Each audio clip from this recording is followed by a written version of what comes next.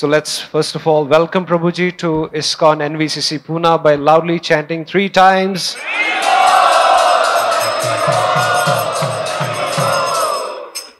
Although Prabhuji doesn't need any introduction, but for our own benefit, we would like to introduce him to the audience here. His Grace Vaiyasaki Prabhu is, of course, we all know, he's an internationally acclaimed Kirtaniya, very famous for his melodious kirtans and especially Bengali bhajans, Vaishnava bhajans. You must, all of us, in some point of time of our Krishna consciousness, have heard Prabhuji's bhajans and kirtans. So it's a very, very rare opportunity. He is with us here today. Uh, Prabhuji was born in London, England, uh, but he was brought up in Canada. That's where he uh, was introduced to music and he started as a rock and blues guitarist. Uh, in 1970, he found himself back in London, and that's where he was enamored by Krishna consciousness, the devotion to Krishna. And in 1973, he actually committed himself fully to this path of devotional service, Bhakti Yoga. And in just two years later, in 1975, Prabhuji was initiated by His Divine Grace, A.C. Bhaktivedanta Swami Srila Prabhupada. Srila Prabhupada ki.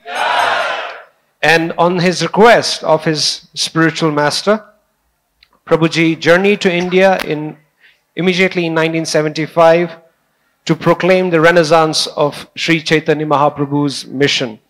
He traveled entire subcontinent, especially Southeast Asia, serving the mission of Srila Prabhupada and Lord Chaitanya. In 78, he arrived in Bangladesh, uh, where he imbibed the culture, actually, because uh, I don't know how many of you know, Prabhuji is extremely fluent in Bengali. Uh, he can read, write. He was sharing with us how he learned Bengali by looking at the signboards in around Dhaka, Bengal, wherever he was traveling, and then he would remember them while reading Chaitanya Charitamrita. So, so I mean, his, his style is extremely unique. It, it has both amalgamation of both the Western and especially the Bengali, real, pure, coming down from Narottam Das Thakur and Srinivas, Srinivas Acharya. His albums, numerous albums, uh, I mean, I can't mention all of them, but some of them, Charan Kamala, The Way of Love, Kirtan Rasa, Harinam Anand, Transcendence, Vrindavan Chandra, Chaitanya Chandra, Best of Vaiyasaki, Sri Krishna Divyanam, that's one of my all-time favorites. Uh, and, and lots and lots more. Uh, what I would also like to add here is Prabhuji is a prolific author, and I'm not sure how many of you have read his books.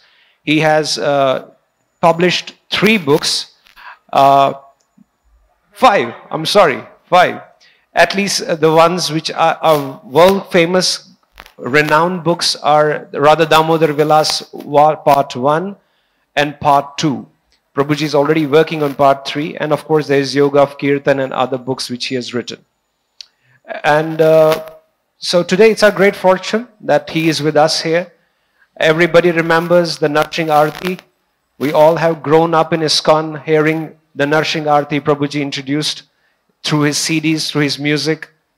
So today, let's from the core of our hearts, let's welcome him to ISKCON NVCC Pune by again loudly chanting three times Haribol.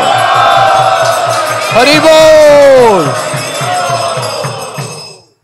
Let's get the roar a bit more powerful. It's Lord Nrsinga's appearance day. Three times. Haribol! Hari Haribol! Thank you very much. Hare Krishna. Oh, Hare Krishna. Uh, one more uh, important announcement. The translation of this class in Hindi is being done down below in the Bhaktivedanta Hall. So anyone who wishes to join the Hindi class is going downstairs. Hare Krishna. Oh, sorry, I had to say in Hindi. इस class का हिंदी रूपांतर नीचे भक्ति वेदांत hall में हो hai. है जो भी भक्त वो सुनना चाहते हैं हिंदी में वो नीचे भक्ति वेदांत हॉल में जा सकते हैं। Hare Krishna. And Prabhu ji is class so because there is no feasting it's happening right at the dawn in the in the at the time of dusk sorry so the class we like to request Prabhu ji to take class as much as time as you can all the way to dusk all the way to dusk so how many are you ready?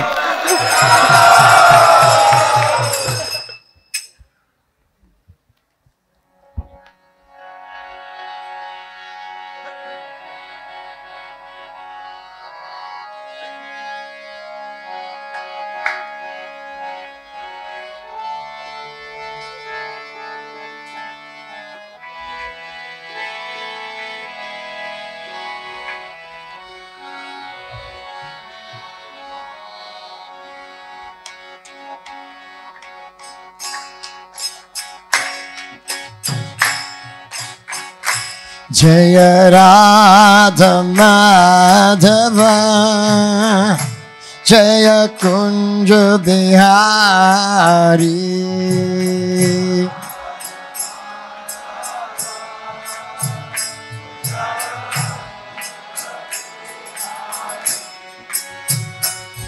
जय राधा माधव जय कुंज बिहारी।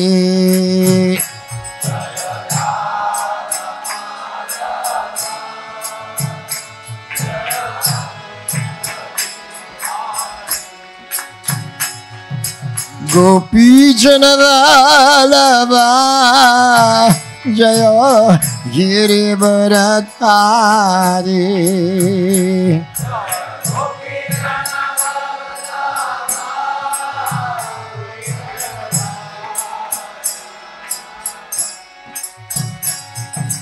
गोपी जनवालवा जय गिरिवरत हारे।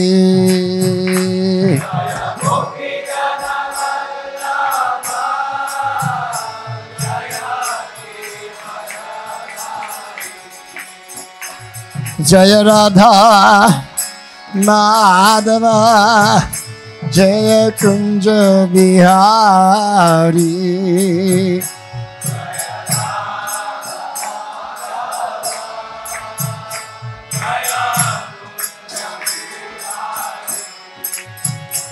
जय राधा माधव जय Kunj Bihari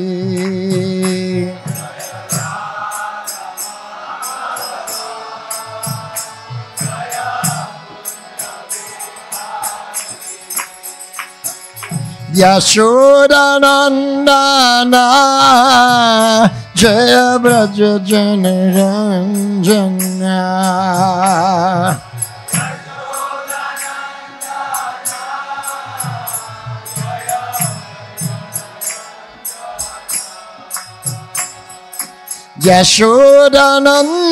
Yashodanandana Jaya Braja Janaranjana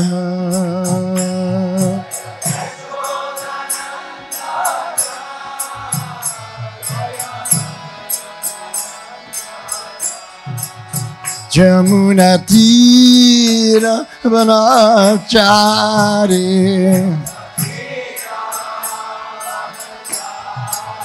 Jamuna तीर वनाचारे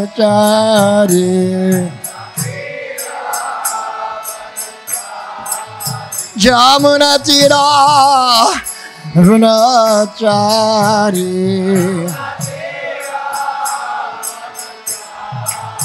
여무나 찌라무나 짜리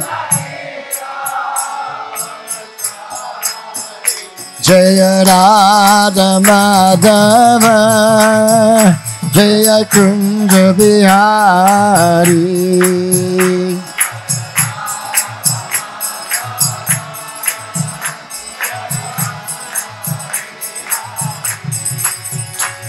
जय राधा माधव जय Kunj Bihari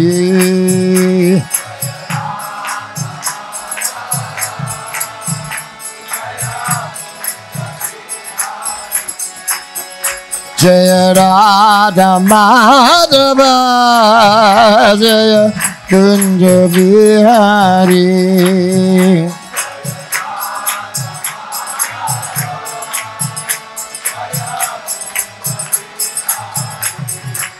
Jaya Radha Madhava Jaya Kunja Bihari Yashodanandana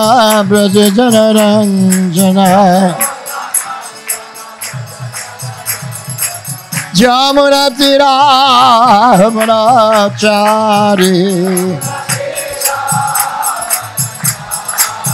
Janaranjana Yashodanandana Braja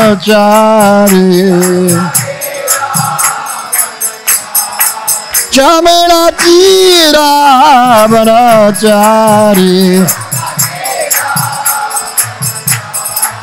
Jamuna Tira Vanachari Jamuna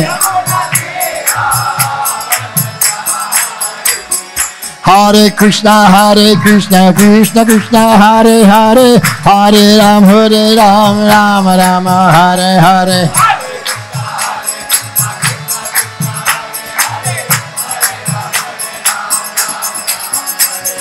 Hare Krishna, Hare Krishna, Krishna Krishna, Hare Hare, Hare Ram, Hare Ram, Ram Ram, Hare Hare.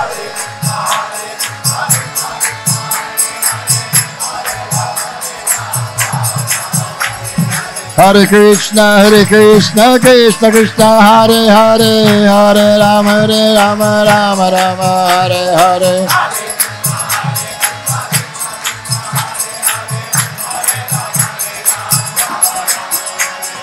Hare Krishna, Hare Krishna, Krishna Krishna, Hare Hare, Hare Ram, Hare Ram, Ram Ram, Hare Hare.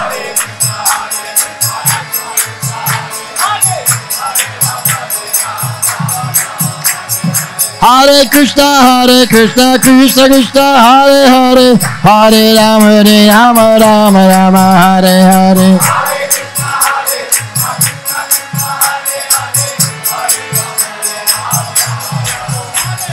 Hare Krishna, Hare Krishna, Krishna Krishna, Hare Hare, Hare Ram, Hare Ram, Ram Ram, Hare Hare.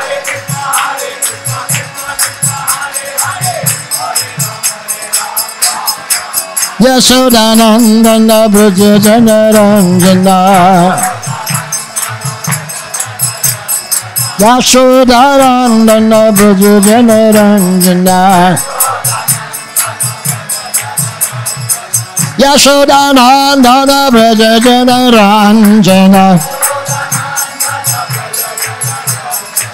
Yashodanandan ब्रजनरञ्जना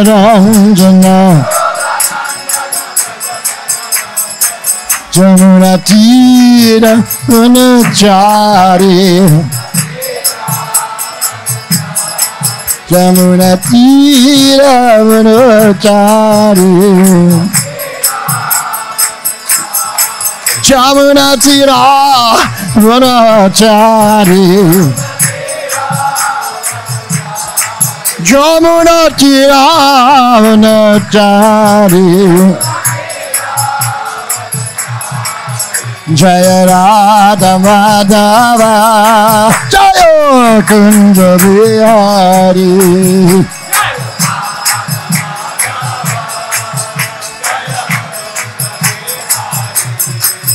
Jaya Radha Madhava Jaya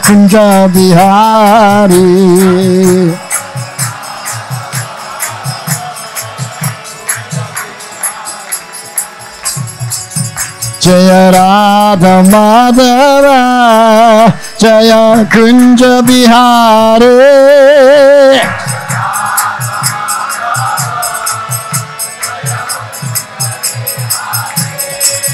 Jaya Radha Madhava Jaya Kunja Bihari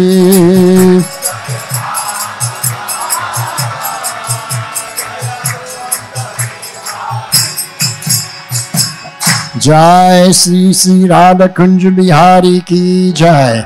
जय श्री श्री राधा वृंदावन चंद्र की जय। जय श्री श्री राधा मदन मोहन की जय। जय श्री श्री राधा गोविंद की जय। जय श्री श्री राधा गोपीनाथ की जय। जय श्री श्री राधा दामोदर की जय। जय श्री श्री राधा गिरिधारी की जय। जय श्री श्री राधा श्याम सुंदर की जय। Gaur Premanande Hari Hari Bo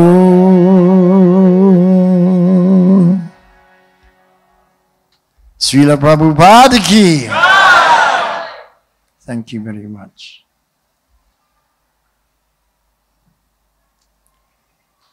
So we're continuing our study of the Srimad Bhagavatam, seventh canto, eighth chapter, entitled The Lord Slays Hiranyakashipu, the king of the demons.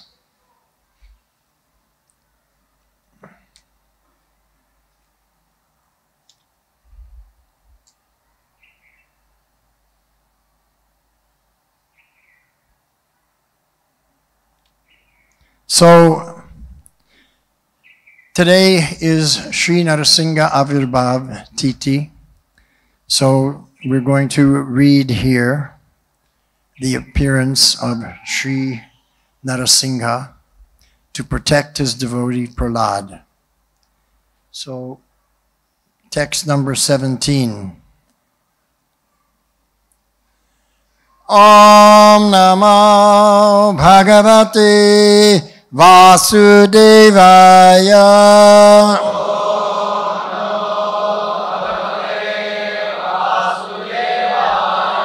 ॐ नमो भगवते वासुदेवाय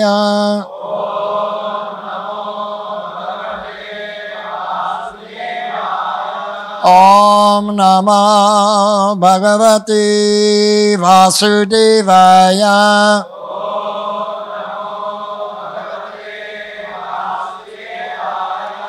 नारायणं नमस्कृत्य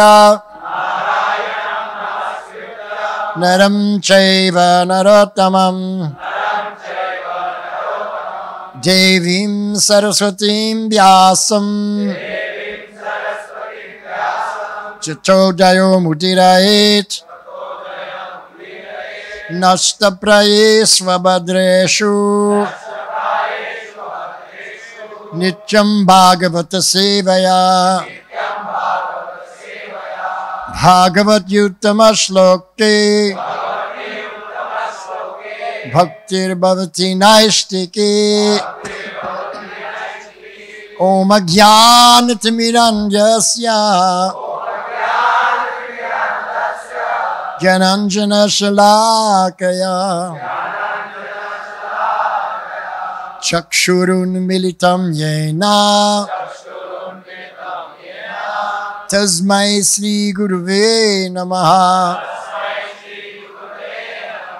मुकां करोति वाचालम्।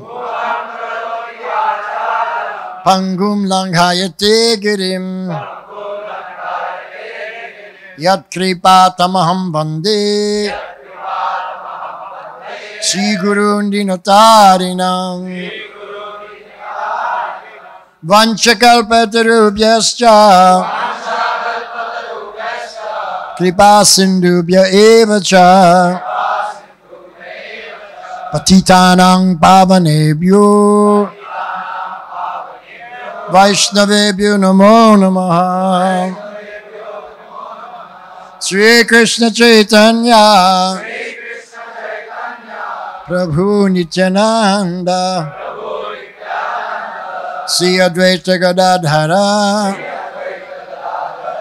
Srivasadi Gaur Bhaktivinoda. Hare Krishna, Hare Krishna. Hare Krishna, Krishna. Krishna Hare Hare. Hare Rama, Hare Rama. Rama, Rama. Hare Hare. Rama,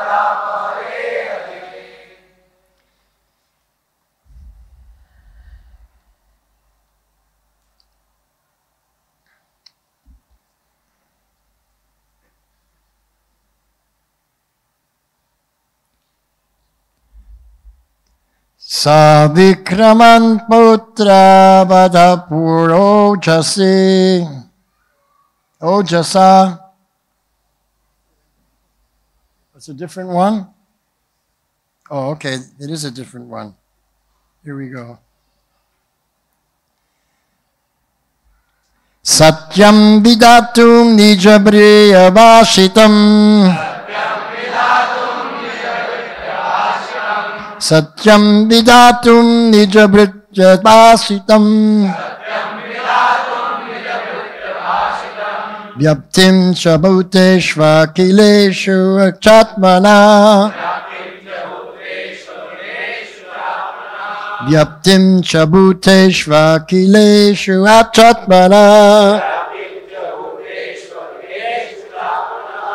अदृश्य तद्यद्भूतरूपम् उद्वहन्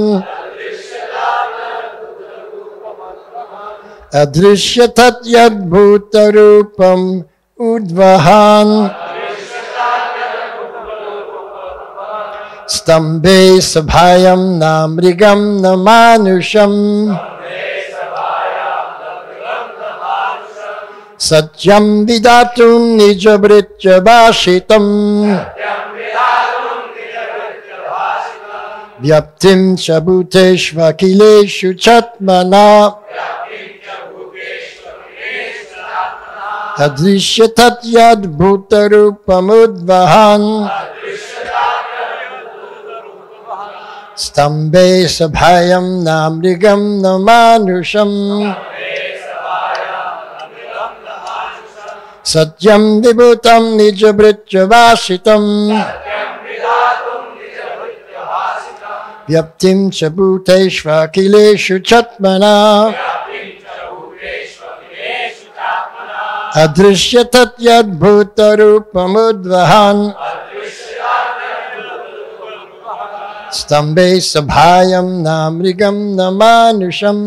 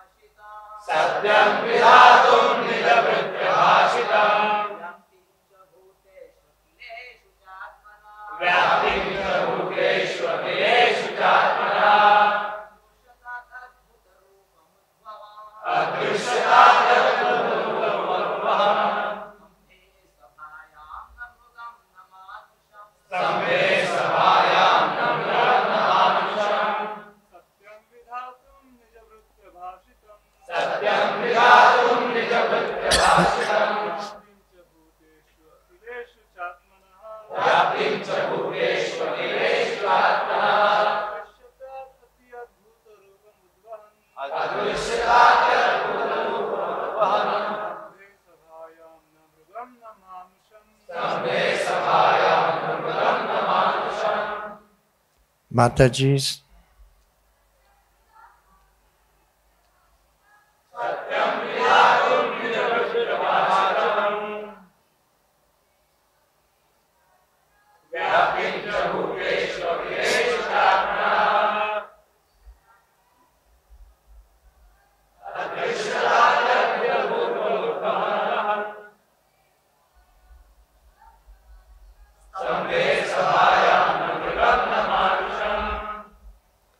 Satyam, true. Vidhatum, to prove. Nijabhrityabhashitam, the words of his own servant. Prahlad Maharaj, who had said that his Lord is present everywhere. Vyaptim, the pervasion. Cha, and. bhuteshu among the living entities. And elements. Akhileshu, all. Cha, also. Atmana, of himself. Adrishyata, was seen. Ati, very. Adbhuta, wonderful. Rupam, form. Udvahan, taking.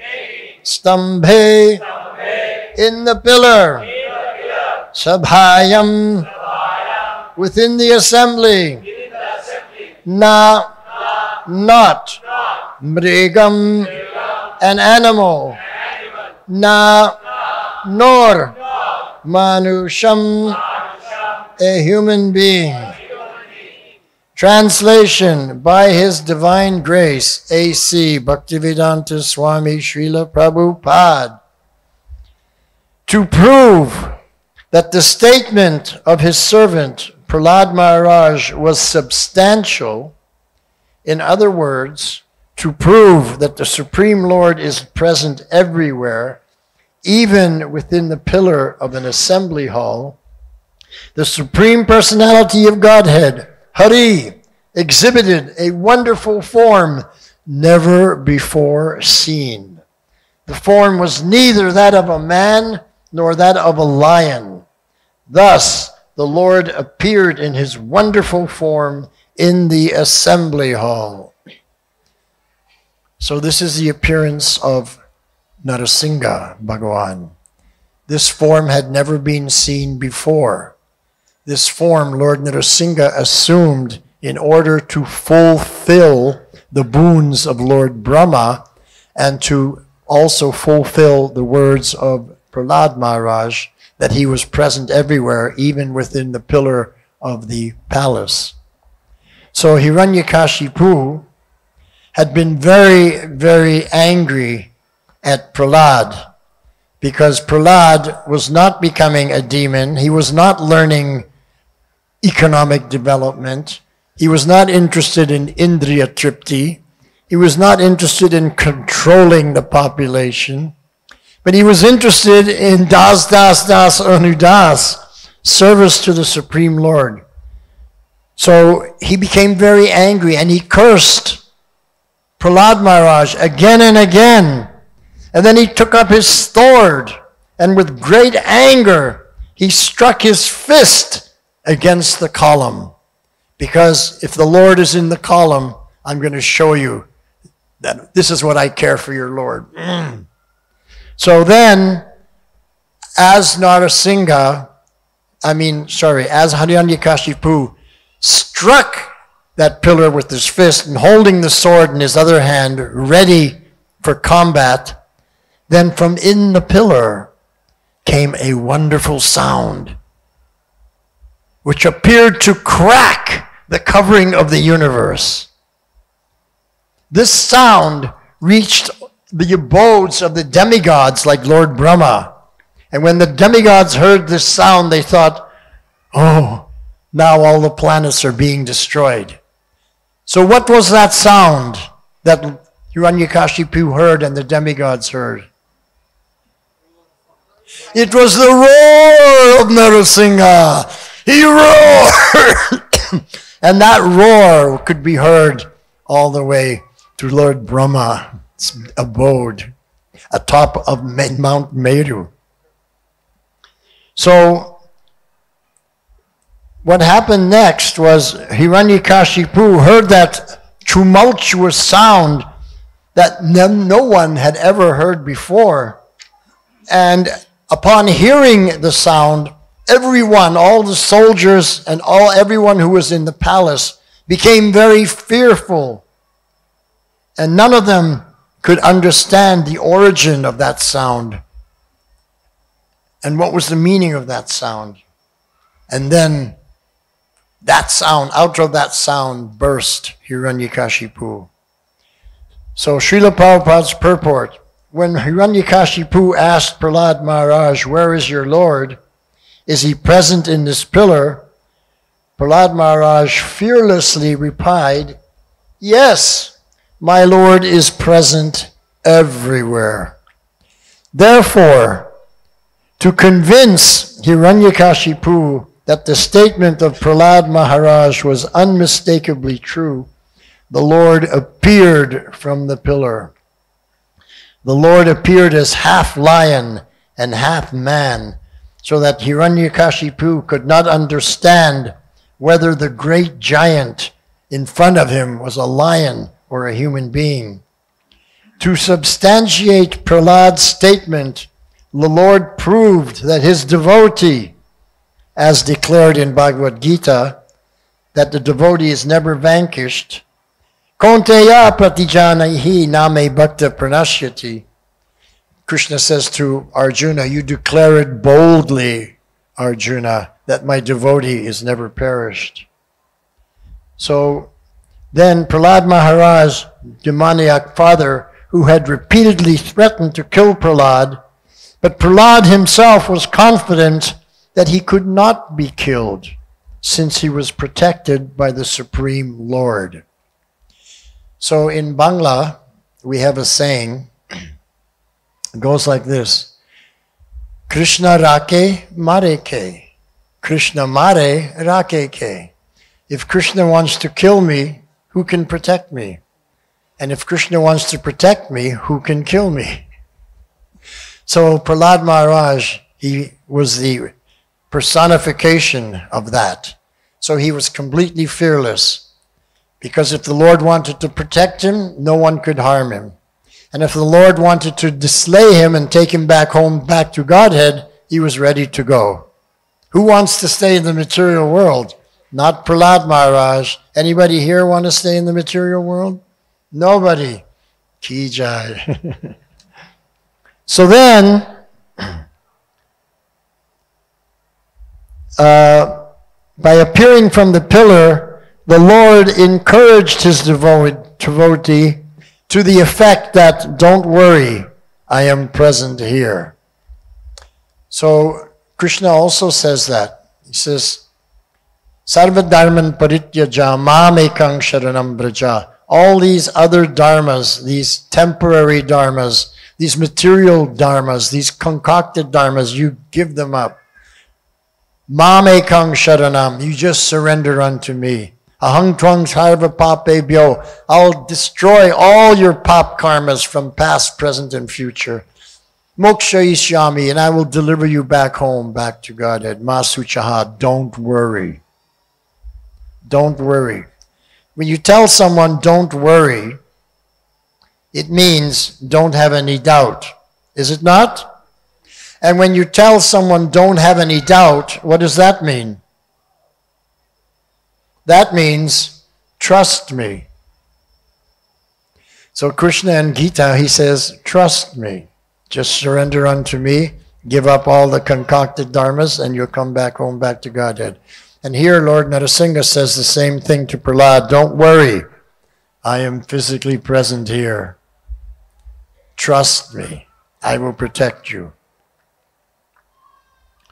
So by manifesting his form as Narasimhadev, the Lord also preserved the truth of Lord Brahma's promise that Hiranyakashipu was not to be killed by any animal or any man. The Lord appeared in a form that could not be said to be fully a man or a lion. So, when Lord Nrsingadev appeared, first there was that tumultuous sound, and everyone became terrified by that sound. No one had heard such a sound before because it was the, the roar of Lord Narasimhadev. So, Lord Narasimhadev, no one had seen that form before. They'd never seen that form before, they'd never heard that sound before. So, to protect his devotee, the Supreme Personality of Godhead, Lord Vishnu, he appeared as Lord Narasimhadev. Previous to that, no one had ever heard of or seen such a form. So when he appeared out of the pillar, Hiranyakashipu, he looked all around to find the source of the sound. What was the sound? And then the wonderful form of the Lord, which could not be ascertained to be either a man or a lion, emerged from the pillar. And in amazement, Hiranyakashipu was thinking, what is this creature that is half man and half lion? He was shocked to the core. But then he could understand that he is here to kill me because he was very angry. Lord Nrsingadev was very angry. Why was Lord Nrsingadev very angry? Who knows? Why didn't he just come out of the pillar and do pranams? Why was he so angry? Because Hiranyakashipu had tried to kill Prahlad again and again. And every time the Lord had to protect him. And in this way, Lord Nrsingadev became more and more and more and more angry at Hiranyakashipu. Because the Lord is equal to everyone. His mercy is equal for everyone. But if someone attacks a devotee of the Lord, then the Lord becomes very angry. And he uses his anger, he uses this violence of anger to protect his devotees and to destroy the demons. This is what Krishna explains in Bhagavad Gita.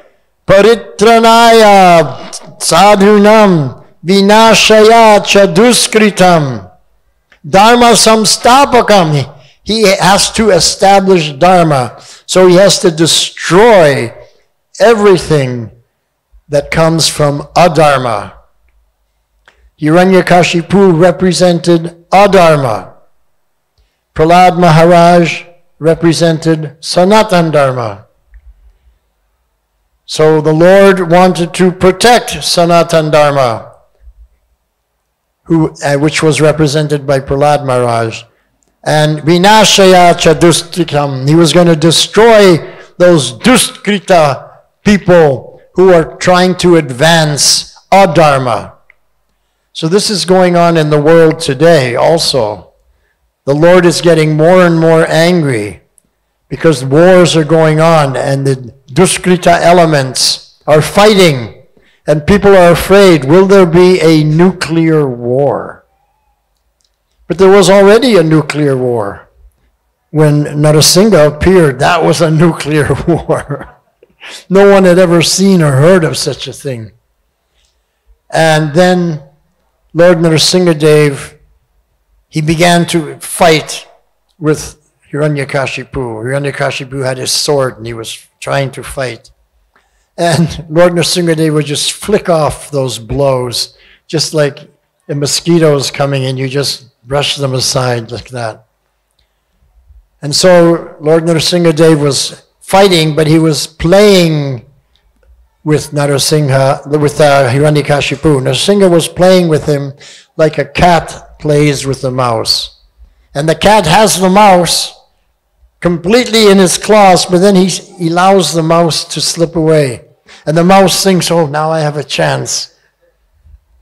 So in the same way, Lord Nrsingadev, as a lion, the king of the cats, he played with Hiranyakashipu like this. And then Hiranyakashipu, each time the Lord would give him a little space, he would think, okay, now I have a chance. But finally, the Lord decided to stop this playing and he grabbed him. And he went to the doorway and he sat in a yoga position, Padmasana, and he put Hiranyakashipu on his lap and he ripped out his entrails. Confirmed.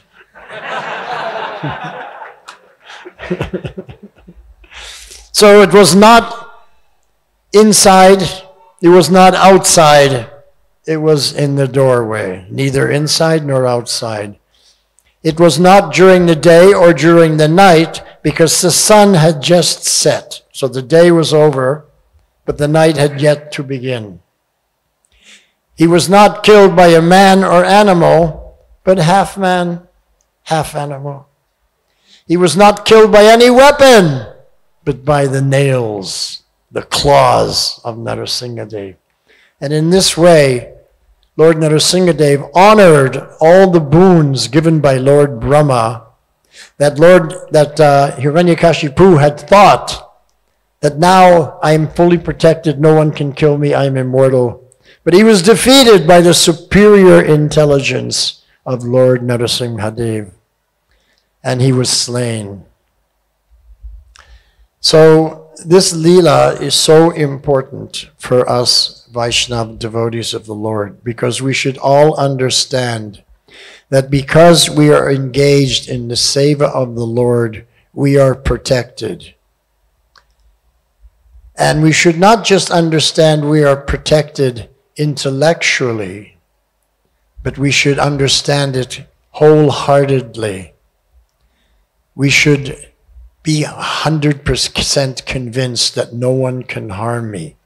Even though harm may appear to be there, but in the end, you're always protected. So maybe a devotee is thrown in the jail, but he soon comes out. He's not there for very long, and he's not slain by the demons. He's protected. So the Lord protects his devotees. So we should be convinced of that. And this is called Shraddha. Shraddha means that you're convinced. You have full trust in the Lord. Shraddhavan. We have to become Shraddhavan. That we're imbued with this trust and commitment and, and dedication to the words of the Lord. Harikatha, so that we're always going to be protected. So then someone may ask, if we're always protected, why are devotees put in a perilous situation, like Prahlad was put in? Well, he was put in a perilous situation, but he wasn't harmed. He was put in a pit of snakes, but the snakes couldn't hurt him. He was surrounded by elephants who were going to trample him, but they couldn't trample him. He was thrown in boiling oil, but the oil couldn't harm him. He was thrown off a mountaintop, but the Lord caught him before he hit the ground. So he was always protected. So the question is why does the Lord even put the, the devotee into a perilous condition, even? Because it's a test. It's a test to prove to the world how fearless devotees are. That's number one test. To prove and show to the world that the devotees are fearless. So you're put in a perilous situation, but you're not a fearful, and then you're protected. That's the first reason. The second reason that you're put in a perilous situation is as a test so that you can gain strength in the faith and in your Shraddha. So Prahlad Maharaj was put in a perilous situation, but he had firm faith. So he gained more faith when he was saved. So the next time he was put in a perilous situation, he had stronger Shraddha. And then when he was saved from that, he had stronger Shraddha. So Hiranyakashipu tried to kill him in 10 different ways. And in these 10 different ways, Prahlad Maharaj became 10 times more stronger in his Shraddha, in his faith, his trust, and his commitment that I'm protected. So that proof has to be there. That's why we're put in a perilous condition. Otherwise, if you're, if you're thinking, I'm always protected, but you're never in a perilous situation, then where's the proof that you're protected? then it's only an intellectual understanding, but we want a practical understanding. Yes, I was put in this difficult situation and I was protected by the Lord. Wow, it's true what the Shastra says. So now my faith is stronger, my trust is stronger. And each time I'm put in that perilous position, my trust becomes stronger and stronger because I'm always protected, always saved. So Prahlad Maharaj is the personality that exhibits this quality of Shraddha to the maximum degree. Full trust, full commitment, full dedication to the word of the Lord, the Harikatha. So, of the Navavidhi Bhakti, the nine processes of devotional service, Prahlad Maharaj is always there as the representative for Smaranam. He is the personality that best represents Smaranam. He always remembered Harikatha. He always remembered the Leela of the Lord. He always remembered the form of the Lord. He always remembered the qualities of the Lord. He also always remembered the holy names of the Lord. He always remembered the instructions of the Lord. He always remembered the associates of the Lord. He always remembered the prashad of the Lord. because he would offer everything that was given to him, he would first offer to the Lord. So, in this way, we have to also become expert at smaranam remembrance. Remembrance, harikatha. We should always remember the name, the form, the qualities, the pastimes, the teachings, the associates, everything to do with the Lord, we should always remember. In this way, we're always protected. You know, my favorite shloka, and which I quote all the time, from the Bhagavad Gita is Ye yatamam prapadyante tam stataiva bhajam yaham. That as you surrender unto me, I reciprocate accordingly. Why is this my favorite shloka? This is my favorite shloka because Krishna is explaining to you how you can get his mercy. If you surrender 1%, you get 1% mercy. Surrender 10%, you get 10% mercy. Surrender 50%, you get 50% mercy. So I was always thinking, I should surrender 100%, then I get 100% mercy. Why should I only get 50% mercy? I believe that if you're going to do something, you should get the full benefit. Why you should only get half the benefit? To me, that's not logical. So therefore, you surrender 100%, you get the 100% benefit, always protected. And who is a perfect example of that? Prahlad Maharaj. Who else is a perfect example of that? Srila Prabhupada? There he is right there, the perfect example. Srila Prabhupada always remembered Krishna. Srila Prabhupada's relationship with Krishna was so deep, he was Paramatma realized. He was constantly connected to Paramatma. He would speak to Paramatma, Paramatma would speak to him. He would ask Paramatma, What should I do now? Paramatma would say, Go here. And then Prabhupada would say, Where should I go now? Go there. Should I go to London? No, go to New York. so that's why Prabhupada could never make a mistake. Because he was told what to do by Paramatma, who's Trikalagya. He says past, present, and future. It's not that Prabhupada was Trikalagya, and this is something that Prabhupada taught me. He, he explained in one class that a disciple should become perfect. Then he said, perfect disciple does not mean perfect like Krishna is perfect. That is not possible. We can't become perfect like Krishna is perfect but we can become perfect by surrendering completely to the parampara, to Krishna, Narada Muni, all the way down to Lord Chaitanya, Bhaktivinoda Thakur, Bhakti Siddhanta Saraswati Thakur, Srila Prabhupada. So Srila Prabhupada, he was completely surrendered to that. And therefore, he was connected to Paramatma. So he could hear Paramatma speaking to him. So when Paramatma gave a instruction, who and Paramatma can see past, present, and future, Prabhupada would follow that instruction. Now there's a very interesting incident, and you may have heard this or you may not have heard, but in 1975, Prabhupada had come to Los Angeles. I was there. I lived in Los Angeles Temple for six months before I came to India Prabhupada requested some devotees to come to India, so I was one of them that came to India. But before that, when Prabhupada came, he was being interviewed by many interviewers for the television, for the newspaper, for the radio. and Rameshwar, who was the head of the BBT, would usually accompany Srila Prabhupada where he would go and be interviewed. So then one interviewer asked Prabhupada directly in a very challenging way Have you seen God? Do you speak directly to God? Very challenging. And Prabhupada's very humble. So he paused for a moment before speaking.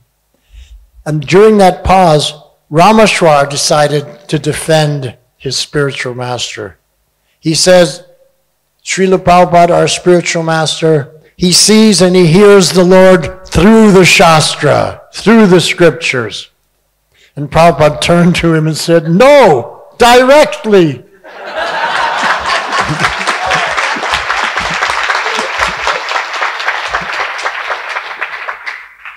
so we all have that mistaken idea.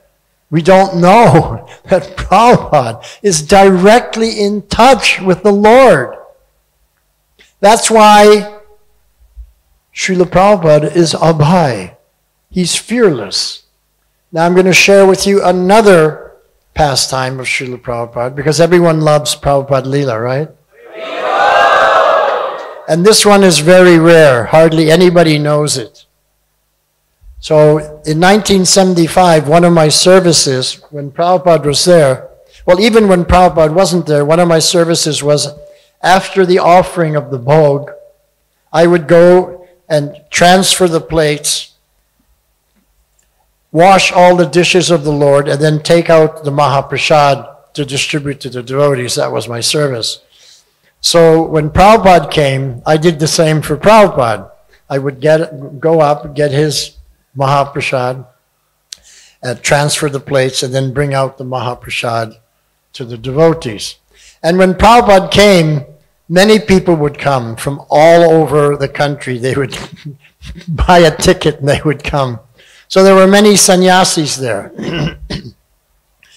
so one of the devotees who was there was the leader of the Mayapur Chandrodaya Sankirtan party. His name was Bhavananda. And he was heading out a party in America to collect for building Sri Mayapur Dham, building our Chandrodaya Mandir temple there. So one afternoon, so I knew Bhavananda because he was coming and taking prasad every day. I was distributing the prasad, so I got to know him. So one day, he told me that Prabhupada had requested him for a personal darshan. So I said, Oh, you're so fortunate. So after lunch prasadam, he took rest. Prabhupada took rest. Prabhupada always took rest after lunch prasadam. And then at 4 o'clock, Bhavananda went to meet Prabhupada. And then later on, I, when I spoke to Bhavananda, he told me everything that Prabhupada had said to him. So Listen very carefully because this is very, very interesting. So Prabhupada welcomed him in and said, How are you doing? Prabhupada always inquired about your health and well being. Oh, everything is good. So then he asked, How is the collection going for Sri Mayapur Chandrodaya Mandir? So Bhavananda said, mm, Not so good. Why? Why is not so good? Because most people, they say no. They don't want to donate. They don't want to help. So Prabhupada said to him, well, don't feel bad if they say no. You just carry on in your service. And actually, when Krishna came to me and said, why don't you go down to the material world and fulfill the prophecy of Sri Chaitanya Mahaprabhu? I also said no.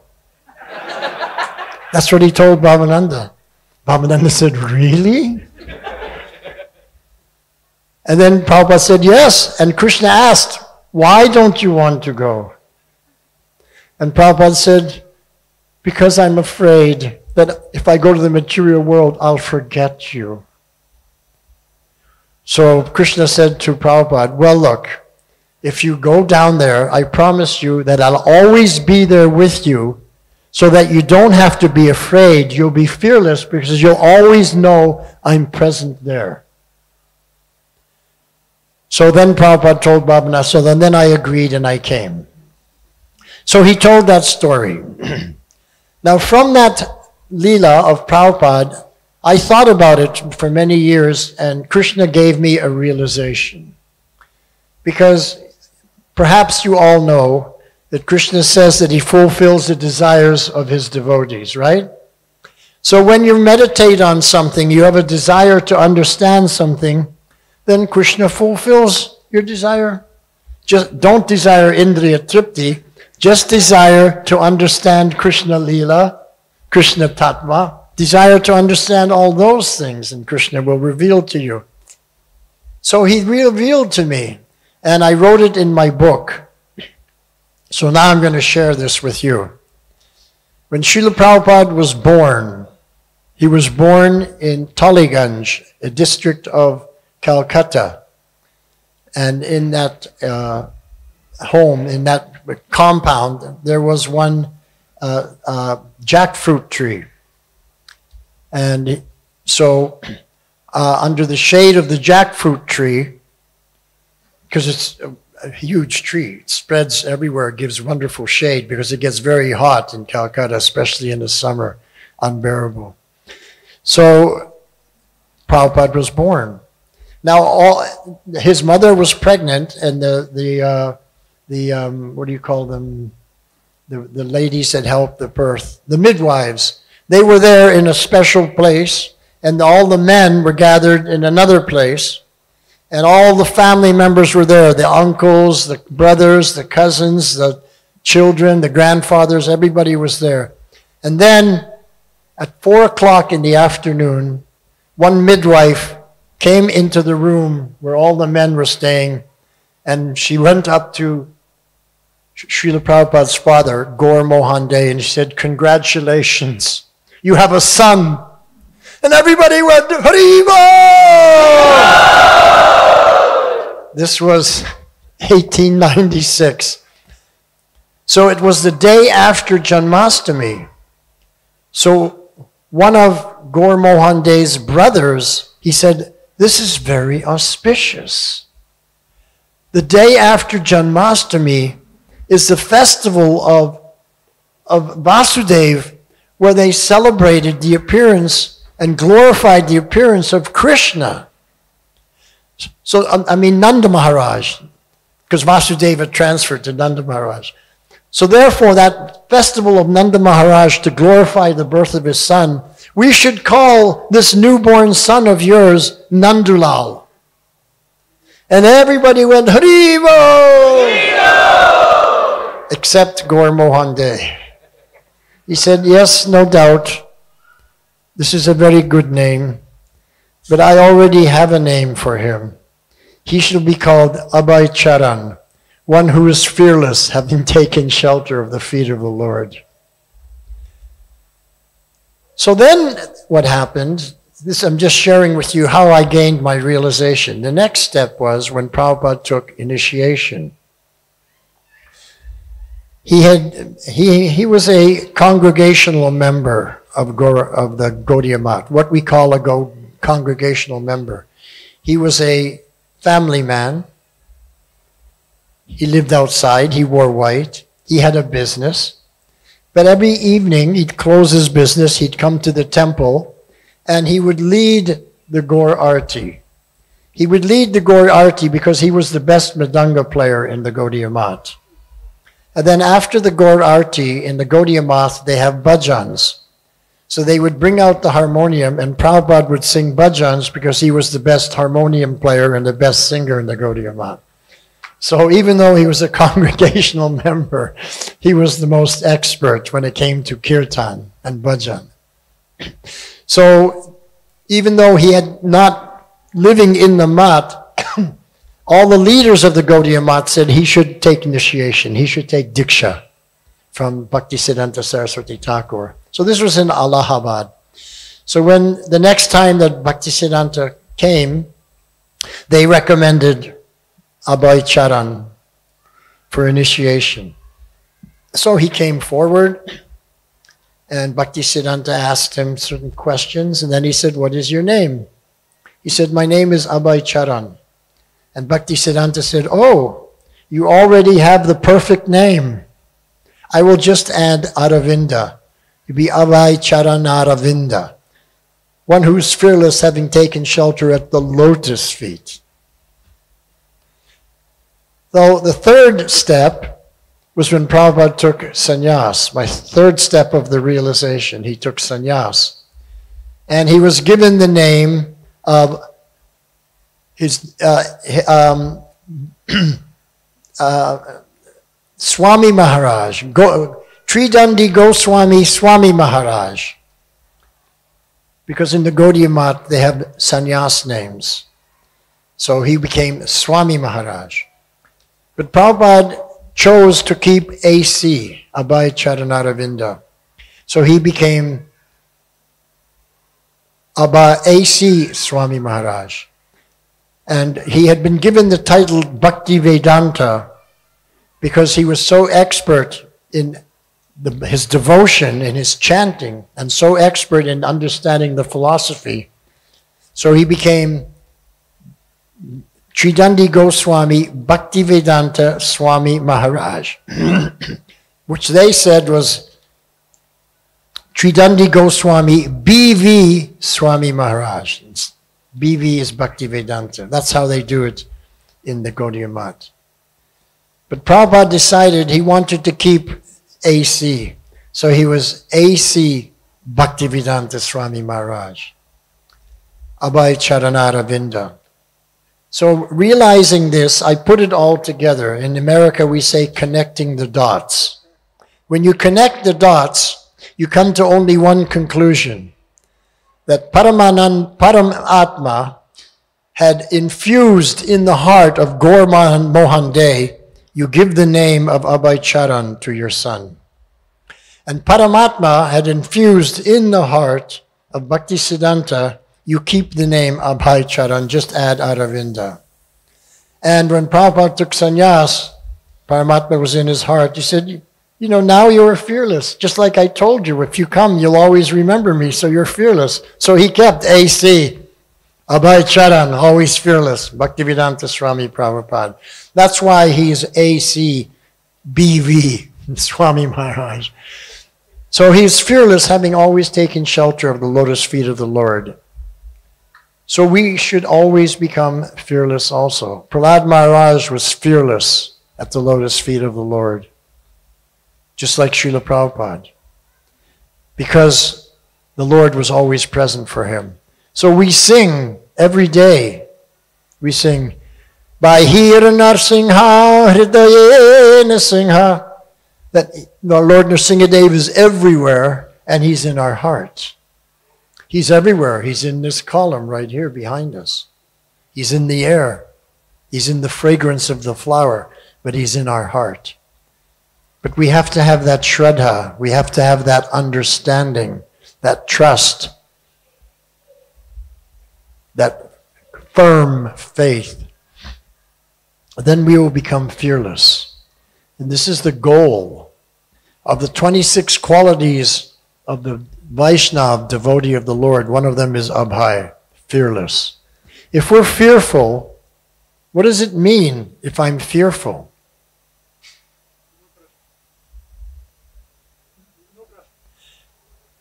Very soft faith, soft trust. In other words, andhabishas, blind faith. So, what happens when a disease comes? Where do you put your faith? In the medicine or in Krishna? Think about it. If a disease would come, where would Prahlad put his faith? In Krishna. Prabhupada, he always said, never take me to a hospital. Prabhupada was ill many times. And what did he ask his devotees to do? Chant. Chant the Mahamantra. Chant the Nrsingadev prayers. So when Prabhupada was ill, who did he take faith of? Krishna. So when we're in a difficult situation, who should we take faith? Eh, who should we take shelter of? we should remember this. Rake Krishna Mareke. If Krishna is protecting you, no one can harm you. Not some insignificant virus that nobody can see. You don't even know if it exists. You have to have blind faith that there is such a thing as a virus. Just take faith in Krishna because you can see Krishna. He's on the altar. You can hear Krishna, his holy name. You can taste Krishna, the prasad. You can understand Krishna by reading the Shastra. You can smell Krishna by smelling the garland that came from him. So, in this way, we're 100% convinced of Krishna. But where's the proof of virus? In order to, take, to have proof of virus, you have to take faith in someone else. We don't have in, uh, proof ourselves. So who are, we, who are those other people we have faith in? Conditioned souls. They're called scientists. Scientists are conditioned souls. They have four defects. They make mistakes. They have imperfect senses. They have the cheating propensity. Oh my God. We're going to take faith of such people? Take faith of Krishna. So let's look at Parikshit Maharaj. He's a pure devotee, but he became angry. He became angry because when he preached, when he uh, uh, uh, uh, approached the ashram of Samika Rishi, and he was dying of thirst, requested some water, but the Rishi was in samadhi, complete samadhi, didn't hear anything. He was in trance. He was not in this world. So uh, Maharaj Parikshit became angry and he saw a snake. So he was fearless. He grabbed that snake and he put it around the rishi and said, Here, this is your garland now for ignoring me. And then the rishi came out of his trance. And now the rishi's son, Shringi, was there. And when he saw that Maharaj Parikshit had insulted his father, he cursed Maharaj Parikshit to die in seven days. Seven days. And when Shamika Rishi heard that, he chastised his son. No, no, no, no. He's Parikshit Maharaj. He's our emperor. We should glorify him. We're Das, Das, Das, anu das. So Shamika Rishi, he was a bhakta. He had bhakti. But his son Shringi had no bhakti. He had Shakti, but no bhakti. So, what did Maharaj Parikshit do? He could have called for all his ojas to counteract the curse. He could have done so much to counteract the curse. His armies could have protected him, surrounded him so that no one could reach him. He had that Shakti, that power, but he didn't. He decided, let me just take shelter of Krishna. This is a benediction. Now I know I'm going to die in seven days. Let me fix my mind. And in seven days, go back home, back to Godhead. Anta Narayanam Smriti. Ante, at the very end, you have to remember Narayan. So he was going to practice for seven full days to only remember the Supreme Personality of Godhead. So at the time of his death, he would be transferred to the spiritual kingdom. No more punarjanma. So that's another example. You put your faith in the Lord. Because for a devotee, we should know two things. Number one, your death is certain. It's guaranteed. You're all going to die.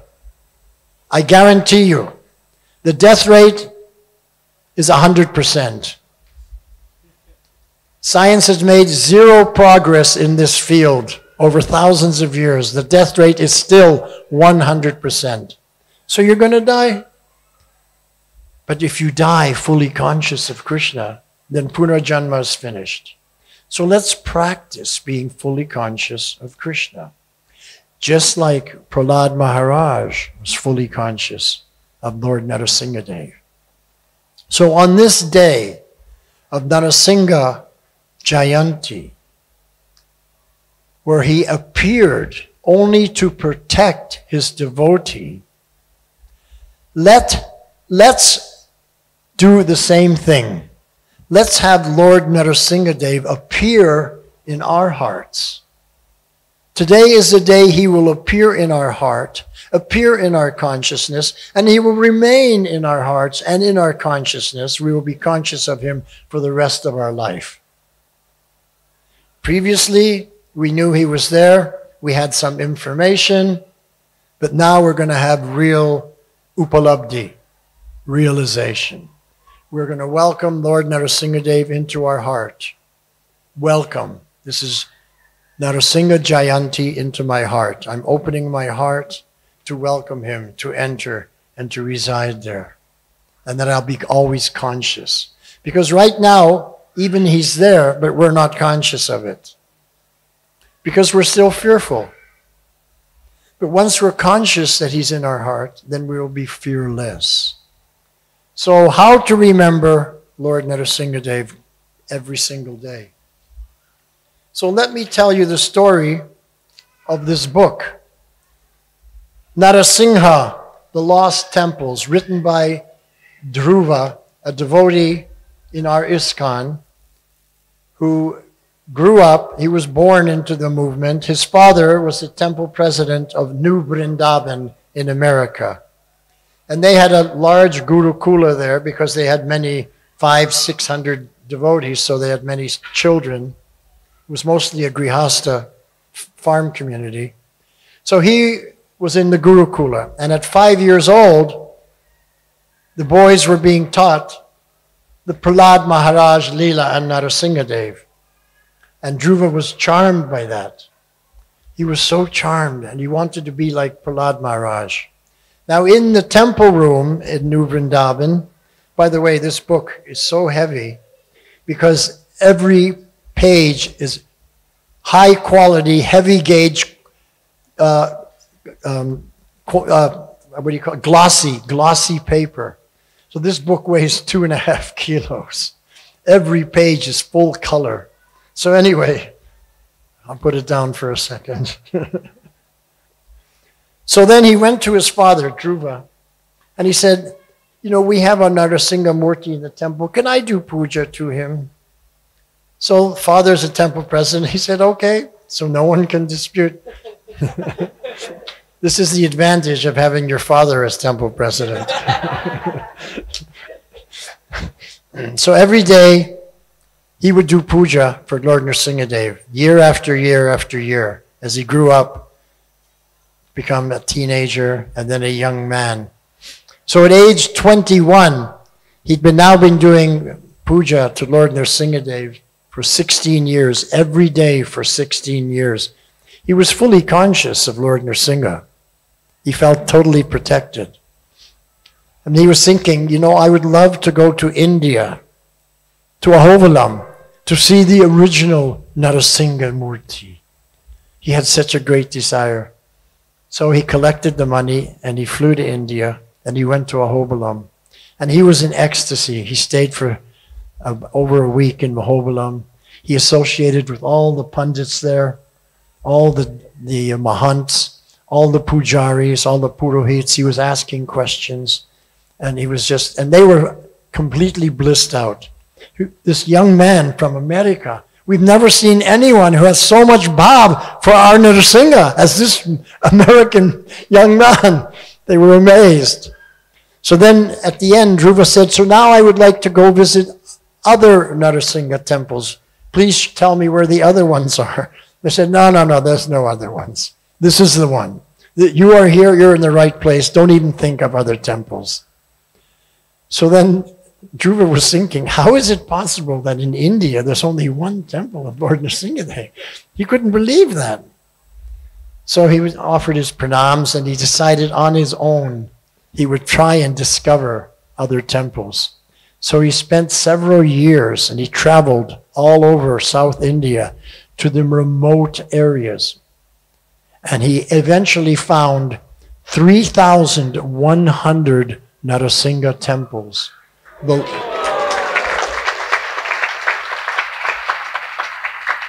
these were the lost temples that hardly anybody knew of, except the local people in that area. And one of those temples was right here in Pune. Who knows the name? Right, Sadashiva. Right? Speak louder. So,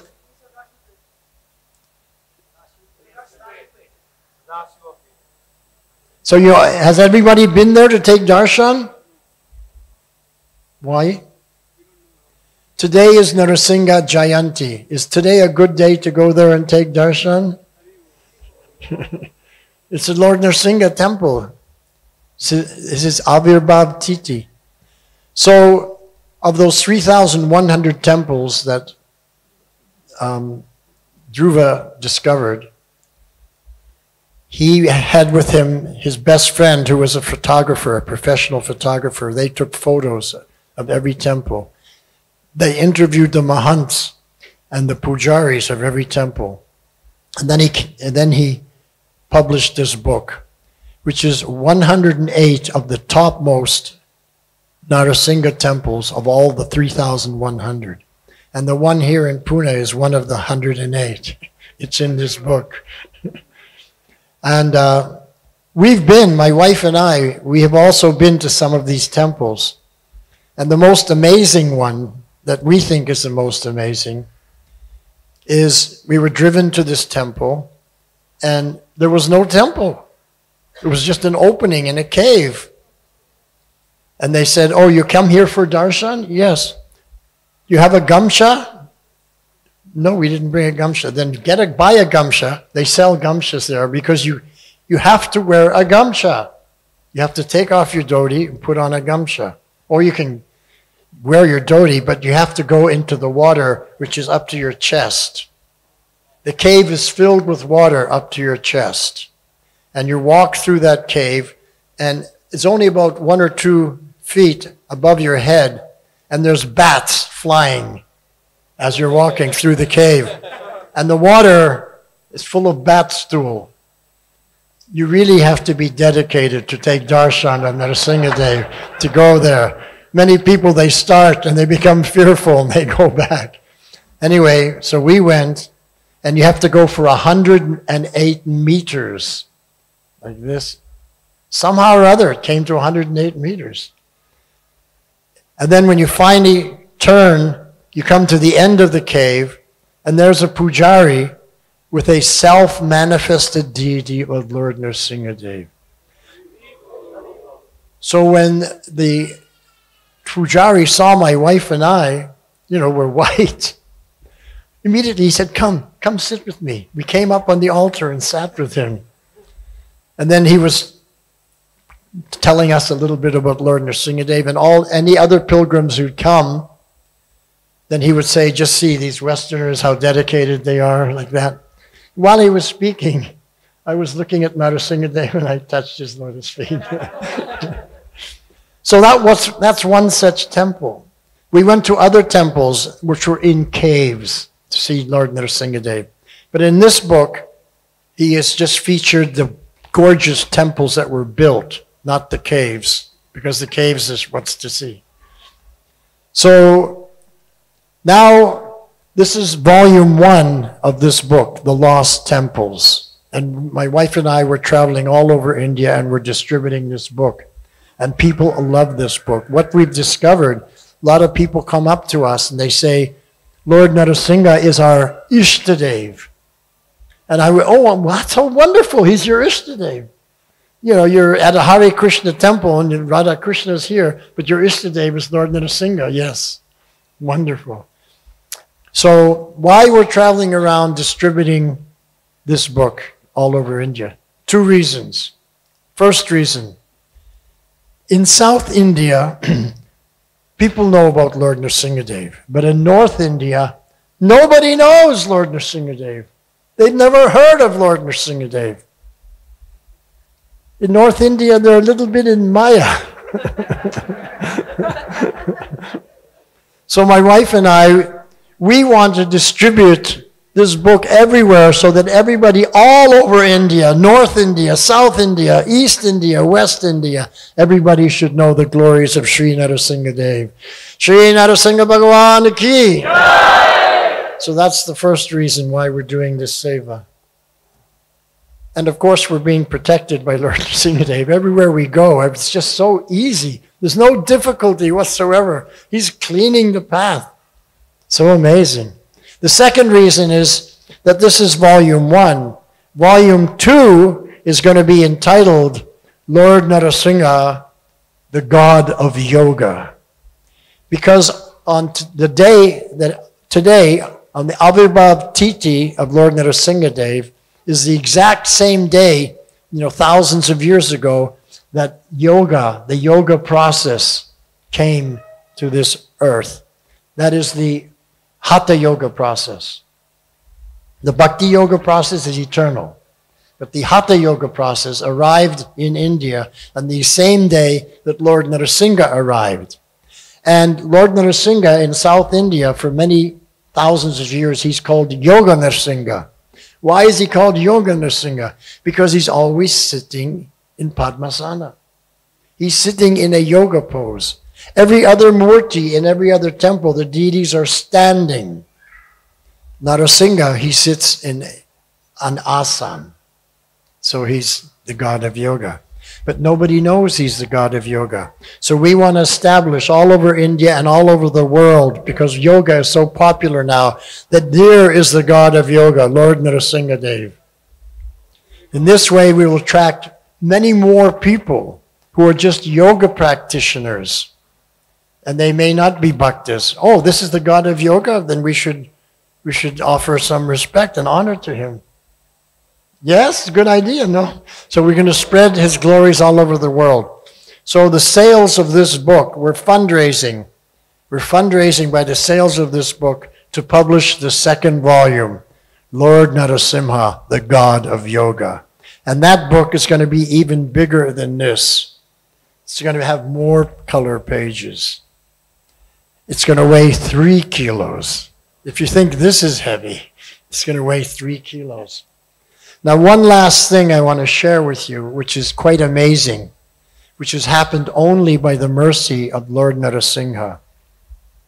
Lord Narasingha has protected Dhruva, who published this book, so much because as a young man, he came for the first time to India and he traveled all over to find the lost temples. What a seva he did for Lord Nrsingadev. So Lord Nrsingadev protected him in all situations. And some of the temples he went to were Gupta. They were far away.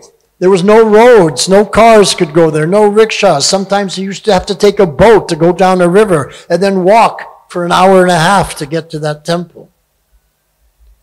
So he did such wonderful seva for Lord Nrsingadev. So Lord Nrsingadev has now introduced uh. He, he sent him to the country of Belgium because nobody knew, at least Dhruva didn't know, that there's a special museum in Belgium.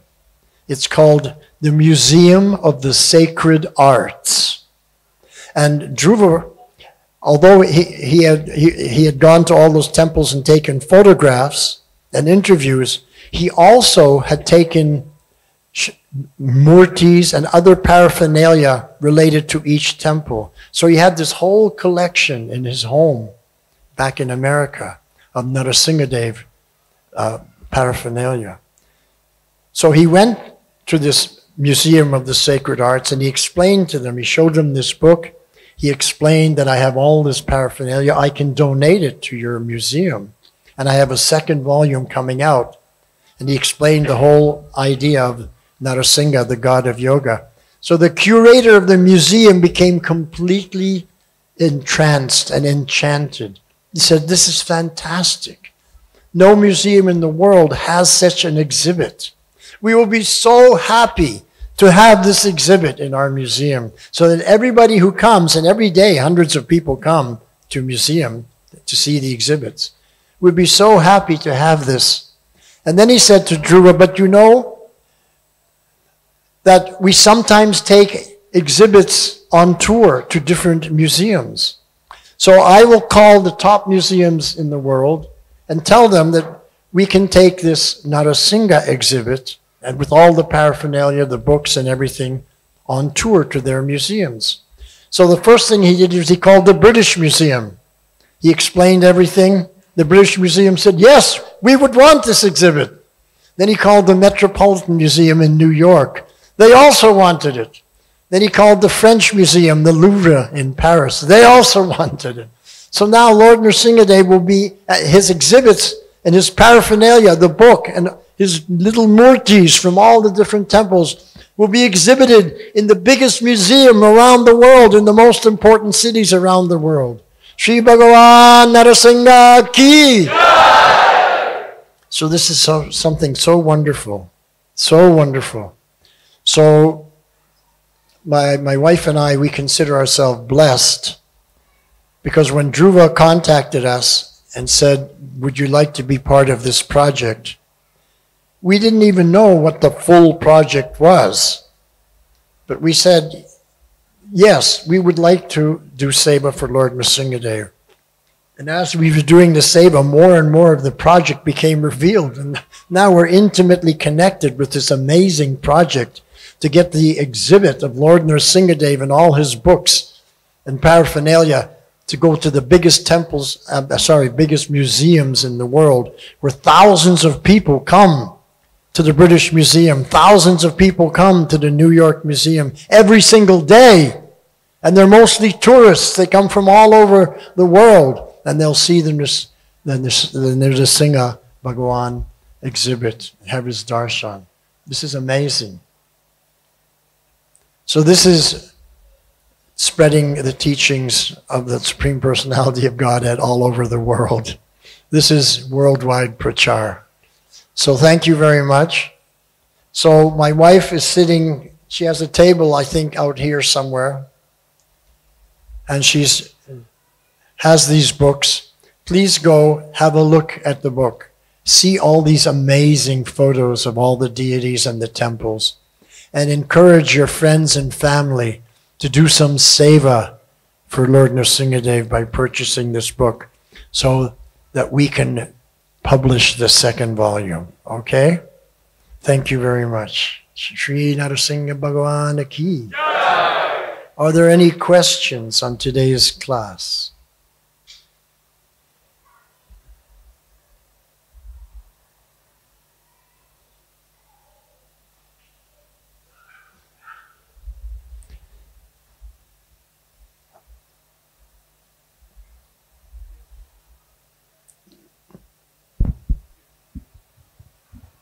Hare Krishna. Hare Krishna Prabhu for a wonderful class. Thank you. Uh, Prabhuji, uh, I would like to ask a little bit of a description how uh, Lord Narasimha appeared and after that what na, na, Prahlad Maharaj was uh, expressions towards Lord Narasimha. So after Lord Nrsinga appeared, everyone was fearful. And then when he killed Hiranyakashipu, everyone was more fearful because they thought that now Narasimhadev was going to kill everyone in the palace.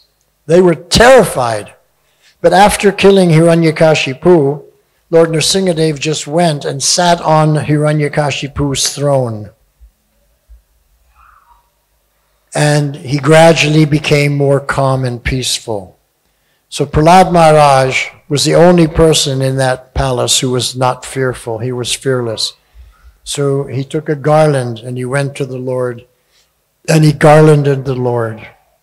And the Lord took Prahlad Maharaj on his lap, put his arm around him, and lovingly embraced him like a father embraces a son. Because that we have a loving relationship with the Lord. He's our father, we're his child. And then he said to Prahlad, Tell me what you want.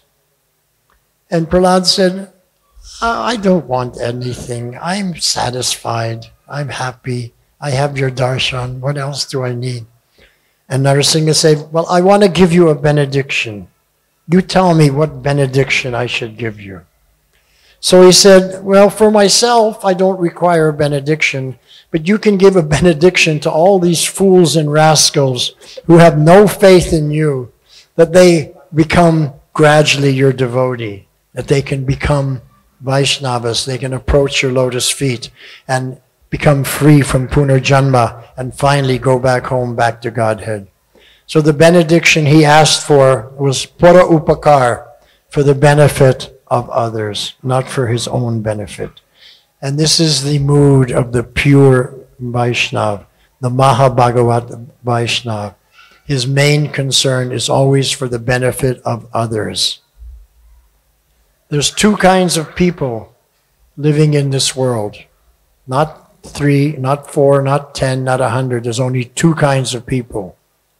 Number one, the first category of people are those who are always your well wisher. Those are called the Vaishnavas. And then the second category of people are those who are not your well wishers. That's it. You're either your well wisher or not. So the Vaishnavas are the well wishers of every living entity. And everyone else is only the well wisher of themselves.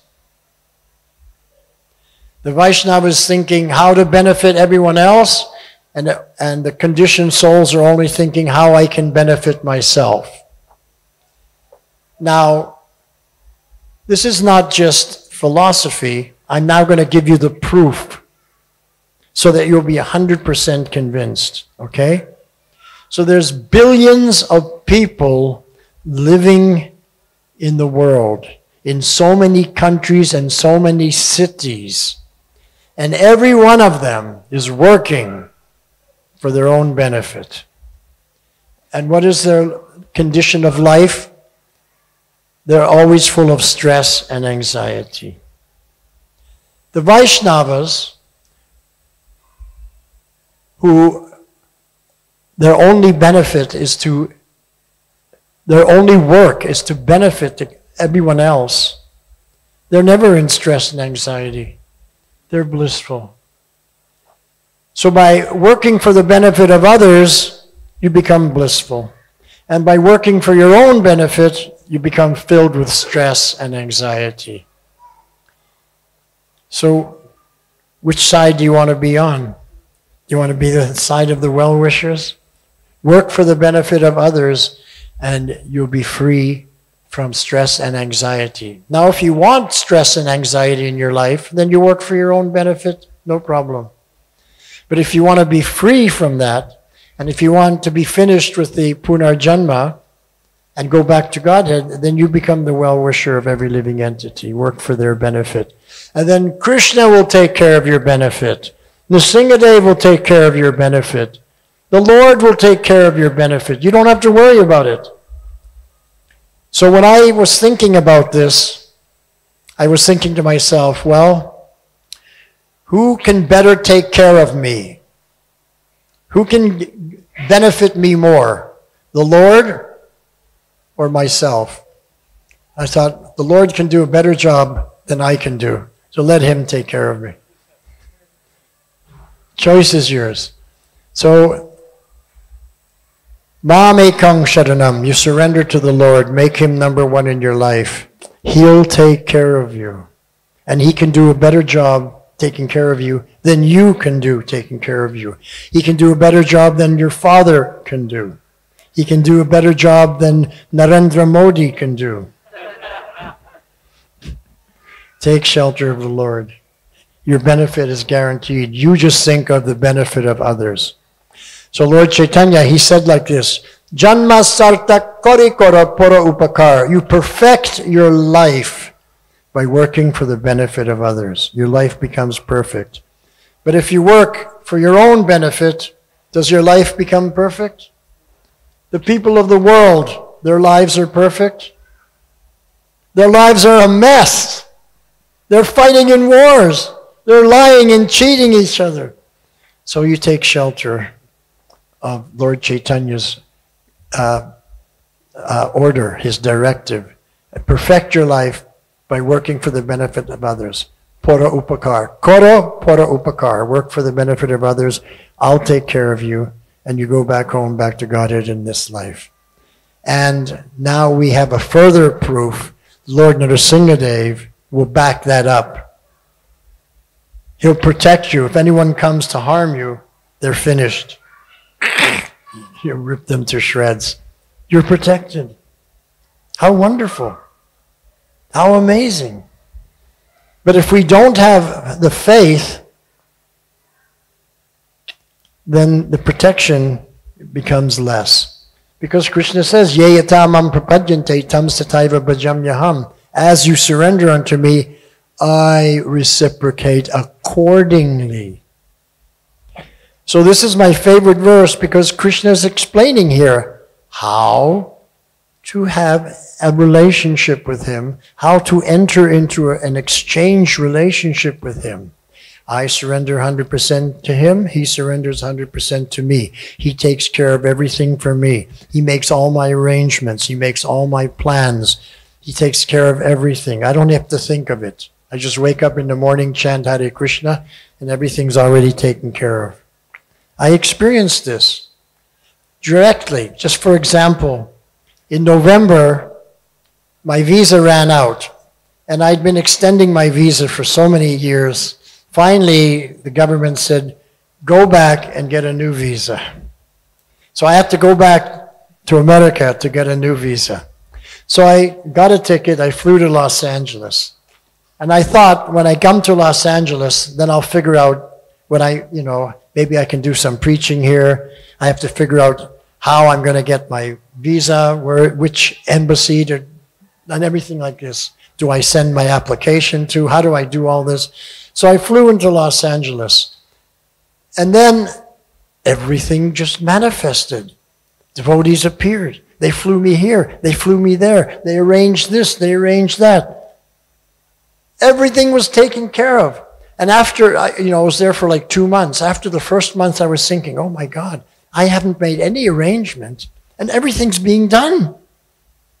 Then I was thinking, what the Lord says is true.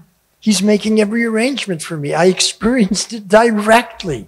So what I'm telling you is not something that I read in a book. It's not something that someone told me outside. It's my own direct experience. It's my testimony.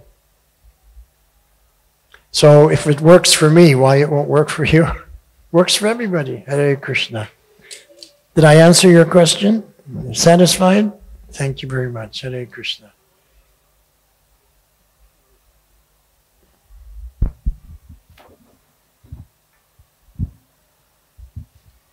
Hare Krishna Prabhuji. Hare Krishna. Thank you for a wonderful class. Thank you. My question is I have been trying Krishna consciousness for the last 23 years. In spite of my genuine efforts, my desire, my endeavors, my sadhana, I have not come to that stage, so called unflinching faith. So, could you please suggest me that in spite of chanting, in spite of doing all other things, with heartful efforts, how do I reach that stage? Okay, very good question. Thank you. Everybody understand his question? Now I will tell you the answer to your question by telling you a story. Okay? So I was preaching in London many years ago, and I asked for questions. And one lady held up her hand. I said, Yes. She said, Just like you. I've been chanting this mantra for 20 years, but after 20 years, my chanting is just mechanical. No bhav. It's just completely mechanical. And I don't want to chant mechanically. I don't want it to become routine. I want to experience some bhav. So I'm thinking better to stop chanting mechanically.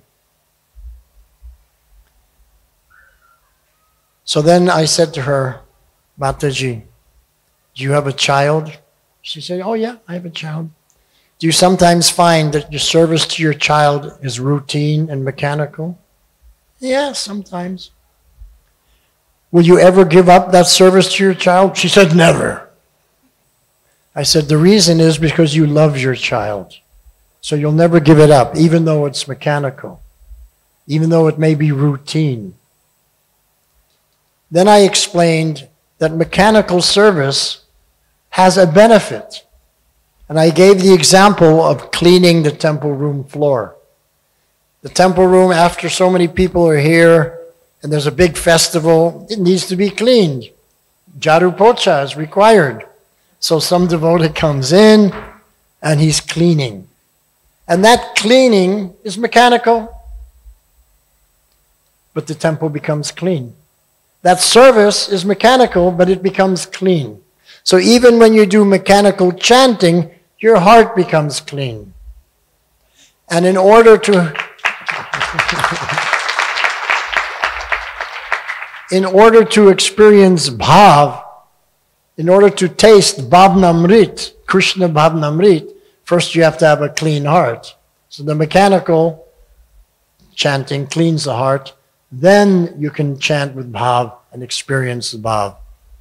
So it's step by step. Now you say you've been doing this for 23 years. That's not a very long time.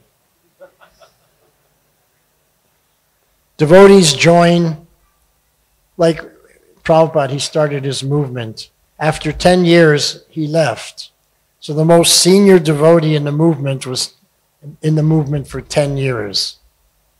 And, you know, the median average age of all the devotees when Prabhupada left was maybe four years, four or five, but more, probably four, maybe three and a half, because in the beginning, few people joined, and in the end, more people joined.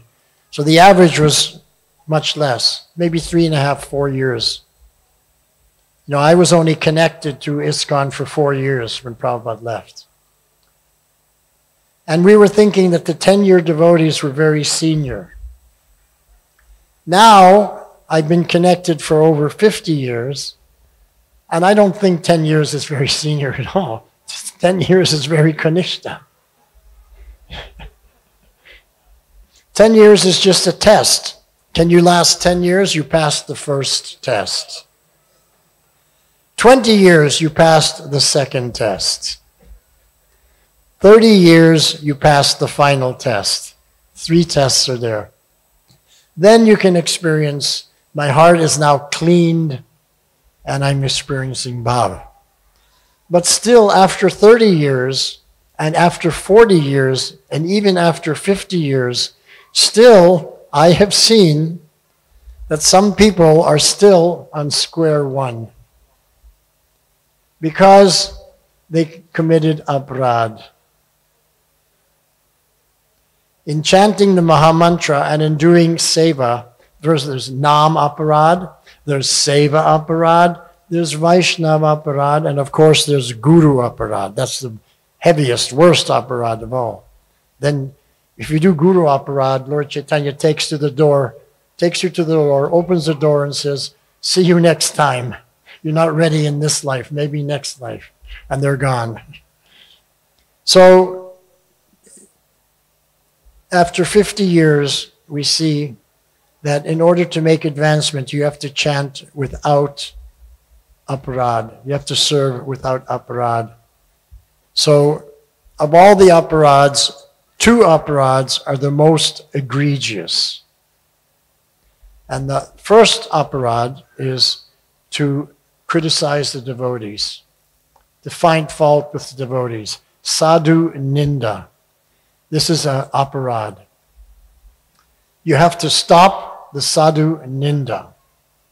And I tried to stop the sadhu ninda, and it was a little difficult because I have a propensity for finding other people's faults. Ever since, you know, as a karmi, I was a fault finder. But then when I found out from Bhaktisiddhanta Saraswati Thakur the results of not doing sadhu ninda, then I stopped it immediately. So now I'm going to share with you how you can immediately stop the sadhu ninda and never find fault with another devotee ever again. Are you interested to hear this? So this is what Bhaktisiddhanta Saraswati Thakur described. He said that when a person has a fault, let's say someone's doing some seva, then there are faults. And there may be some karmic reaction for that fault. But if I find his fault, if I talk about his fault, if I broadcast his fault, then the karma that he would have gotten comes to me. I take his karma and he's free. How many people knew that? Only one. Two. Now you all know.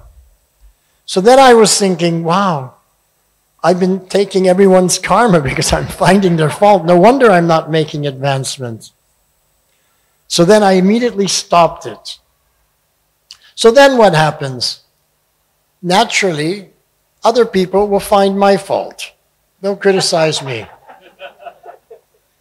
So when they criticize me and find my fault, what do I do? I say, Thank you. I know that he's taking my karma.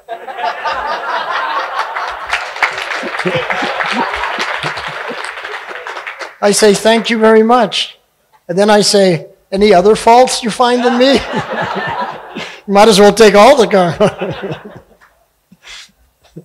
so, so once I understood that from Bhakti Bhaktisiddhanta Saraswati Thakur, I gave up the sadhu ninda forever because I understood how it works. It was no longer some intellectual understanding, it was a practical understanding. And then the second thing that's, that's the most maha aparad is to be inattentive while chanting and to maintain material attachments even after hearing so many instructions on the matter. So we're inattentive while chanting. So Prabhupada said we have to chant with care and attention. So I was meditating on that with care. I have to chant carefully.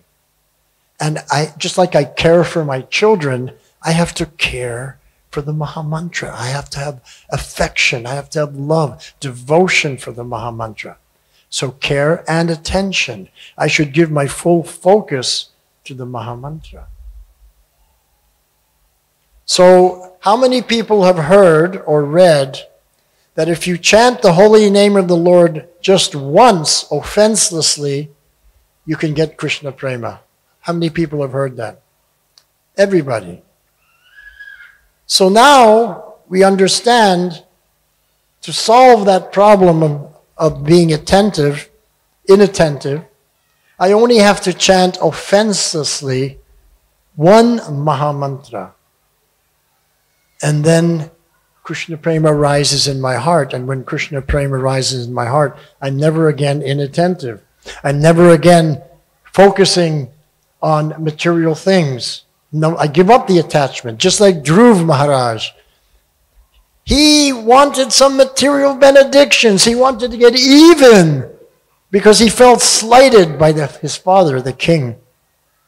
So his mother was his first guru. She said, You know, there's nothing you can do, but you can pray to the Lord. So he, he left the palace. He went and performed tapasya, and all that lila is right here in the temple. And Narayan appeared to him, and he was meditating. I want the benediction that I can become the most powerful. I will teach my father a lesson. and when Narayan appeared to him and say, What is your heart's desire? And Dhruv looked at Narayan and he said, Oh, Bhagavan Narayan, now that I've had your darshan, all the material desires I had that I had previously have no more value to me than broken pieces of glass. I just want to have your darshan for the rest of my life. And Narayan said, Well, you better focus very strongly on me now because this is the only darshan you're going to have from me for the rest of your life. So you focus and bring this darshan into your heart and have this darshan in the heart for the rest of your life. And Dhruva Maharaj did. And he went back home, back to Godhead. And he made sure that his mother came along with him. so we have to solve the problems of the aparad. We have to focus on the attention and uh, uh, uh, be inattentive and not to be attached to material things. We have to learn not to find faults with devotees, not to criticize the devotees, because then you take their karma. So you carry on doing what you're doing and realize that mechanical has a benefit. It's cleaning your heart. Don't think that there's no benefit to mechanical. I'll tell you a story about mechanical chanting because in 1976, you know, I was traveling. I was a book distributor. I was traveling all over India. We were two brahmacharis, myself and Satyanarayan. We had a van. We would travel all over India distributing books. And we wanted to finish our morning program very quickly so we could go out and have more time for distributing books. So Satyanarayan said to me, he said, Do you know that our godbrother Banu, he chants five minute rounds? Five minutes? I was shocked. Really? Are you sure? Oh, yeah, he told me. And so I timed my japa and it was seven and a half minutes. Two and a half minutes extra per round times 16. I think uh, all this other time I could be going out distributing books. So I made up my mind I have to chant faster. So I started fixing my mind and chanting. I got it down to seven minutes. Then I got it down to six and a half minutes, but I couldn't go past six and a half minutes. And I was thinking, how is Brahm, Banu chanting in five minutes? So then I got myself a, an, uh, a digital clock where you press and it just it ticks one, two, three, four, five. You know how how much time has elapsed? They use these for uh, races. So I got one of those and I took the beads out of my bead bag and I was chanting like this, trying to come down to five minutes around, looking at the clock. And when it was two and a half minutes, I'd see, am I halfway on the beads? And I was chanting like this. I got down to six minutes. I couldn't go any further. Then I was thinking, what am I doing wrong? Then I was thinking, I'm wasting time by my breathing. Because you can breathe out and chant Hare Krishna, but you can't breathe in and chant Hare Krishna. You have to take a breath. And every time I take a breath, I'm losing a second. I was this is, this is, I'm telling you the truth. This is, I was like that. So I would take a very deep breath and then chant like six or seven mantras before I ran out of breath and then take another one. I still couldn't get the five minute rounds. I was thinking, how does Banu do this? So I ne- could never chant five minute rounds. And then I realized that my chanting was mechanical. After doing this for some time, I'm really realizing that this chanting is completely mechanical. However, it had one benefit. I was fully tensioned, fully focused. I wasn't thinking anything else. I was fully focused. So I got the benefit of the heart becoming clean, even though it was mechanical. Then I decided, okay, now what I want to do is I want to chant with Bhav. So I'm not interested to chant quickly. Now I'm interested to chant slowly. So then I was chanting Hare Krishna, Hare Krishna, Krishna Krishna, Hare Hare, Hare Rama, Hare Rama, Ram Ram, Hare Hare. But then it became very difficult to finish 16 rounds. So I thought, how am I going to solve this problem? I want to chant with Bhav, but I want to have time to do seva. I can't be sitting doing Nirjan Bhajan all day. You know, I was a young man then. Now I'm old man, so it's different. But as a young man, you want to get out there and do some seva. So I came up with a solution. You want to hear this solution? So I thought to myself that the Supreme Personality of Godhead, Krishna, is my best friend. Prabhupada said that. He has given me everything. He's given me every breath I take. And I realize that every breath I take keeps me alive. As soon as you stop breathing, you're dead. So that every breath I take is the most precious in my life to keep going, to do devotional service. So I had the realization that my breath was my most precious possession. And if anybody here has any doubts that your breath is the most precious possession, you come with me to the river. I'll put your head in the water. I guarantee in 30 seconds you'll agree my next breath is my most precious possession. so then I was thinking, the Lord is giving me every breath, all the fruits, all the vegetables to nourish my body, the cotton and the jute to keep my body covered and warm, you know, the bricks and everything to build shelters to protect us from the storms.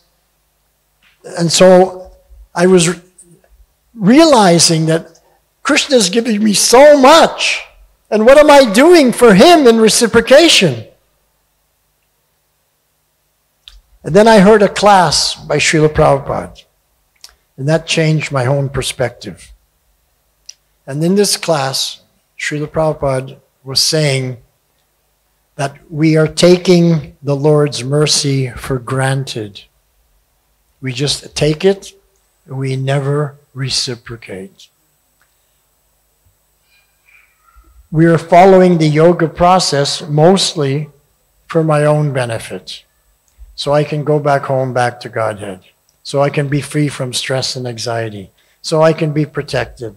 You know, it's always me, me, me, me. No one is chanting. No one, if you ask them why you're chanting japa, how many people say, to please Krishna? That's why I'm chanting, to make him happy. So then Prabhupada said, just like the Lord is giving you so much water, you're drinking so much water, you're taking shower every day. But how many people say thank you? If I give you a glass of water, what will you say? Thank you. But when we get the water from Krishna, we don't say thank you. I come out of the shower, I just took it for granted. I didn't say thank you for that nice shower. Drink water. I don't say thank you to Krishna. So I came to the realization I want to say thank you to Krishna. But then I was thinking just to say thank you is not enough. Krishna is doing so much just to say thank you. Two words, that's not enough. I need to do more. So I was thinking, I need to give something to Krishna, a gift. He's giving me all these things as his gifts. I want to say thank you and give a gift. And what gift can I give to Krishna? And I was thinking, well, Krishna has everything. What can you give to somebody who already has everything? And then I was thinking, well, there's one thing that Krishna doesn't have. He doesn't have my offenseless chant because I'm not chanting offenselessly. So let me offer to Krishna one offenseless mantra as my gift to him to say thank you for everything he's done for me. So I put myself in a meditative pose and I say, Krishna, I want to now chant offenselessly for you. I want to give my full focus and attention to your lotus feet, and I would chant your holy names with full feeling bhavanamrit and taste the nectar of your holy name. Hare Krishna, Hare Krishna, Krishna Krishna, Hare Hare, Hare Rama, Hare Ram, Ram Ram, Hare Hare. So I did this before chanting 16 rounds. Then I would chant my mechanical 16 rounds. So after some time, I was thinking, so I did this every day. And after some time, I was thinking, why don't I chant this offenseless one mantra to Krishna as a gift to him to say thank you at the beginning of each round? So I do it 16 times a day. If you can become, if you can get Krishna Prema by chanting just once, then by chanting 16 times offenseless mantra, just think how much Krishna Prema you can get. So before each round, I would say, Thank you, Krishna. Hare Krishna, Hare Krishna, Krishna Krishna, Hare Hare, Hare Ram, Hare Ram, Ram Ram, Hare Hare. And then chant my mechanical 16 rounds so I'm finished my japa. So I'm sharing with you from my own life, from my own experience. I hope it's for some benefit for you. I hope you got some benefit from this. Thank you very much for your question. Any other question? Yes. Thank you, Prabhu, for a very wonderful class. And Prabhu, you, you mentioned in the class that Prabhupada, when he was in New York, I think, he was sick and he asked the devotees to pray to Lord Narsimhadev that you please pray for my recovery. So, Prabhu, um, Prabhuji, I always think like when Prabhupada was in 1977, he was about to leave from this planet. At that time also, he could have asked the devotees to pray to Lord Narsimhadev for his recovery so that he could have stayed more and developed ISKCON everywhere. But he has not asked again to pray to the Lord for his recovery. So can you please explain why? Who's that, Yashomati? Who, who you're speaking about? Who, who you're saying someone didn't ask to pray to the no, I'm asking Srila Prabhupada. He could have told his disciples th- that they can offer prayers to the Lord so that he can recover uh, faster. so that he wouldn't leave his body. Yes. Oh, he did do that. He asked the devotees, they were saying, Srila Prabhupada, don't leave. Your work is unfinished. The Srimad Bhagavatam is unfinished. So Prabhupada said, Do you want me to stay? And everybody said, Yes, Srila Prabhupada. And then he said, Okay, I don't mind staying, but it's up to Krishna.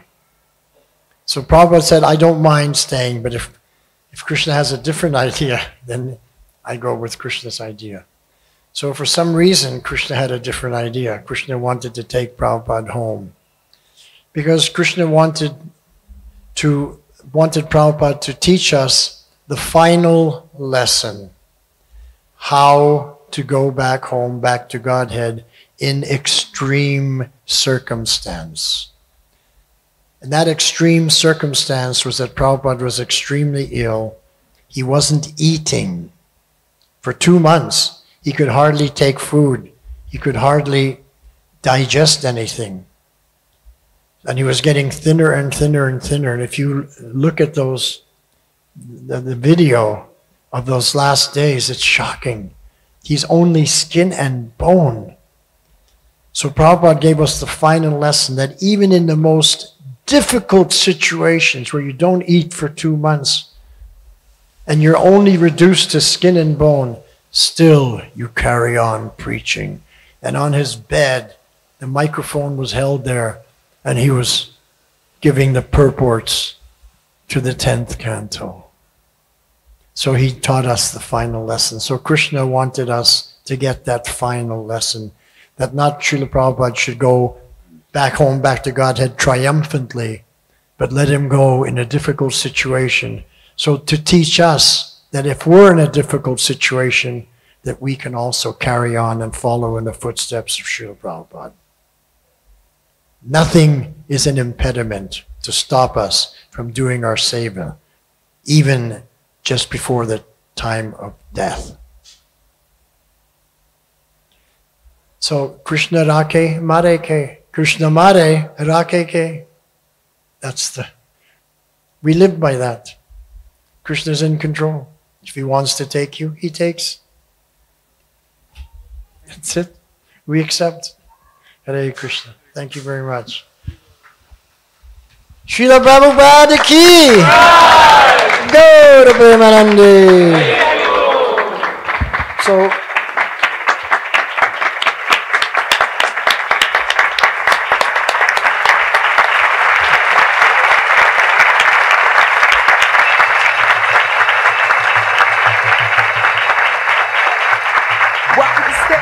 So please take advantage. Today is Lord Narasimha appearance day.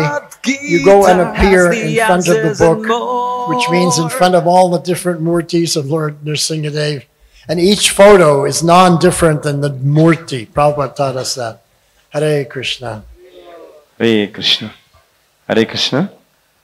Let us thank His Grace Vaiyasaki Prabhu. He has shared us Narasingha Katha, Prahlad Katha, and Prabhupada Katha and his own personal realization so nicely. Let us thank him by chanting Hare Krishna Mahamantra. Hare Krishna, Hare Krishna, Krishna Krishna, Hare Hare, Hare Ram, Hare Ram, Ram Ram, Hare Hare. प्रभु जी ने अभी बताया जो lost Narasimha temples तो वहाँ पर बाहर book table के बाजू में इसका टेबल लगाया हुआ है, वहाँ पर आप ले सकते हैं। और प्रभु जी थोड़ी देर में यहाँ पर will be sitting here and if anybody want signature on that book you can come here and take his signature Hare Krishna. तो आज का ये नरसिंह चतुर्दशी का शेड्यूल ऐसा है। शाम को चार बजे यज्ञ होगा, लक्ष्मी नरसिंह यज्ञ। और साढ़े चार बजे टेंपल हॉल में कल्चरल प्रोग्राम रहेगा, यज्ञ नीचे भक्ति वेदांत हॉल में रहेगा, और साढ़े छह बजे नरसिंह भगवान का अभिषेक होगा, और साढ़े सात बजे ये सभी के लिए प्रसाद होगा। और ये नरसिंह चतुर्दशी का ये यज्ञ है, चार बजे भक्ति वेदांत हॉल में होने वाला है, और इसके बारे में आपको ज़्यादा इंफॉर्मेशन चाहिए तो बाहर साधु संघ चैतन्य प्रभु एक टेबल लगा के बैठे हैं, वहाँ पर आप टेबल में आपको रजिस्ट अपने आप को रजिस्ट्रेशन करना पड़ेगा और जिन भक्तों को रजिस्ट्रेशन जिन्होंने किया है रजिस्ट्रेशन उनके लिए यज्ञ में आज नरसिंह चतुर्दशी का यज्ञ में यजमान के रूप में बैठने के लिए आपको कूपन मिलेगा और हमारे जीवन में जो भक्ति में जो भी ऑब्स्टेकल है उसको निकालने के लिए लक्ष्मी नरसिंह यज्ञ का आयोजन किया गया है। जो भक्त इसमें रजिस्टर करते हैं उनके लिए नरसिंह भगवान का स्पेशल पवित्रम मायापुर धाम से दिया जाएगा। और नरसिंह भगवान का यज्ञ का भस्म और स्पेशल प्रसाद, कई सारे और चीज़ आपको मिलने वाले वहाँ पर। अगर आप अपने रिलेटिव या फ्रेंड्स को इस नरसिंह चतुर्दशी यज्ञ में भाग देना चाहते हैं, जो यहाँ पर नहीं है ऑनलाइन में भी भाग ले सकते हैं। तो जिन वक्त ऑनलाइन में भाग लेने वाले हैं, उनके लिए जूम आईडी दिया जाएगा। और दूसरा ये अनाउंसमेंट है आईडीसी कोर्स इंग्लिश में होने वाला है 28 एंड 29 मई और 4 और 5 जून को। ये दोनों सैटरडे संडे को होने वाला है। टाइमिंग है तीन बजे से लेकर सात बजे तक। जो वक्त इसमें भाग लेना चाहते हैं, इसके बारे में ज़्यादा इंफॉर्मेशन चाहिए तो आपको टेंपल हॉल का नोटिस बोर्ड में वृंददेव इंफॉर्मेशन सेंटर का नोटिस बोर्ड में या बीवी और बीवीआरवी ऑफ़िस के नोटिस बोर्ड में आप प्राप्त कर सकते हैं या वहाँ पर ऑफ़िस में जाके कलेक्ट कर सकते हैं। और अगला जो अनाउंसमेंट है थॉट बूस्टर्स के बारे में वरदराज प्रभु आगे करने वाले Hare Krishna. Hare Krishna. Hare Krishna we seek the blessing of Vyasaki Prabhu before making this announcement. So uh, around year back we have started a very beautiful channel called Thought Boosters on YouTube. So uh, many of the devotees all over the world know this, but somehow our devotees are not known knowing this. That is our mistake, sorry for that. But we have very special request and also presentation of this channel now in front of you. So this channel is uh, doing a very special service of uh, making devotees explain the verses of Bhagavad Gita in a very simple and very entertaining way of animation. This is uh, one of the first channel of this type where you can learn the verses of Bhagavad Gita just by uh, the medium of a song and animation. Very, very simple. So we are presenting, this channel is also in Hindi and also in English, Thought Boosters channel. So we are showing you two videos now, one in Hindi and one in English. So uh, please see the videos and after that we have an action uh, service for all of you. So after the video, please wait for two minutes. That time we will tell you what to do. Now they will show you the video. The anger?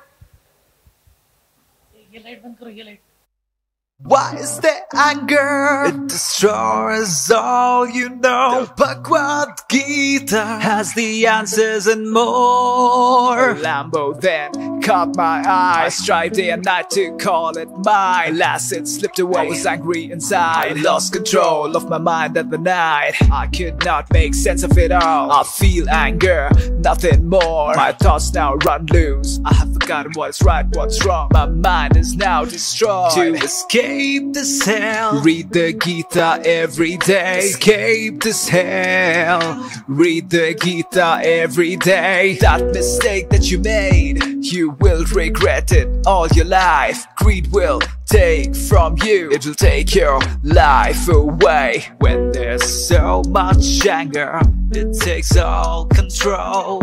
Until you find yourself. You're just another drifting soul. When your intellect turns on you, how will you live your life? You've become the sole reason for your own fall. The Bhagavad Gita holds these immortal truths. The Bhagavad Gita holds these immortal truths. To escape this hell, read the Gita every day. Escape this hell, read the Gita every day.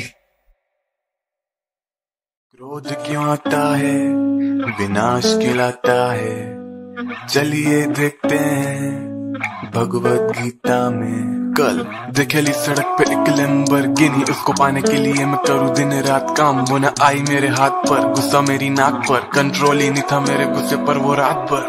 नहीं पाया मुझे कोई भी समझ में, क्योंकि समझ नहीं अब मेरे बस में। नहीं आए अब अच्छे विचार, कोई भला बुरा भूल कर बुद्धि का विनाश। से बचने के लिए गीता को पढ़ो। क्या ऐसी गलती जो करी है तुमने, वो देख के तुम पछताओगे।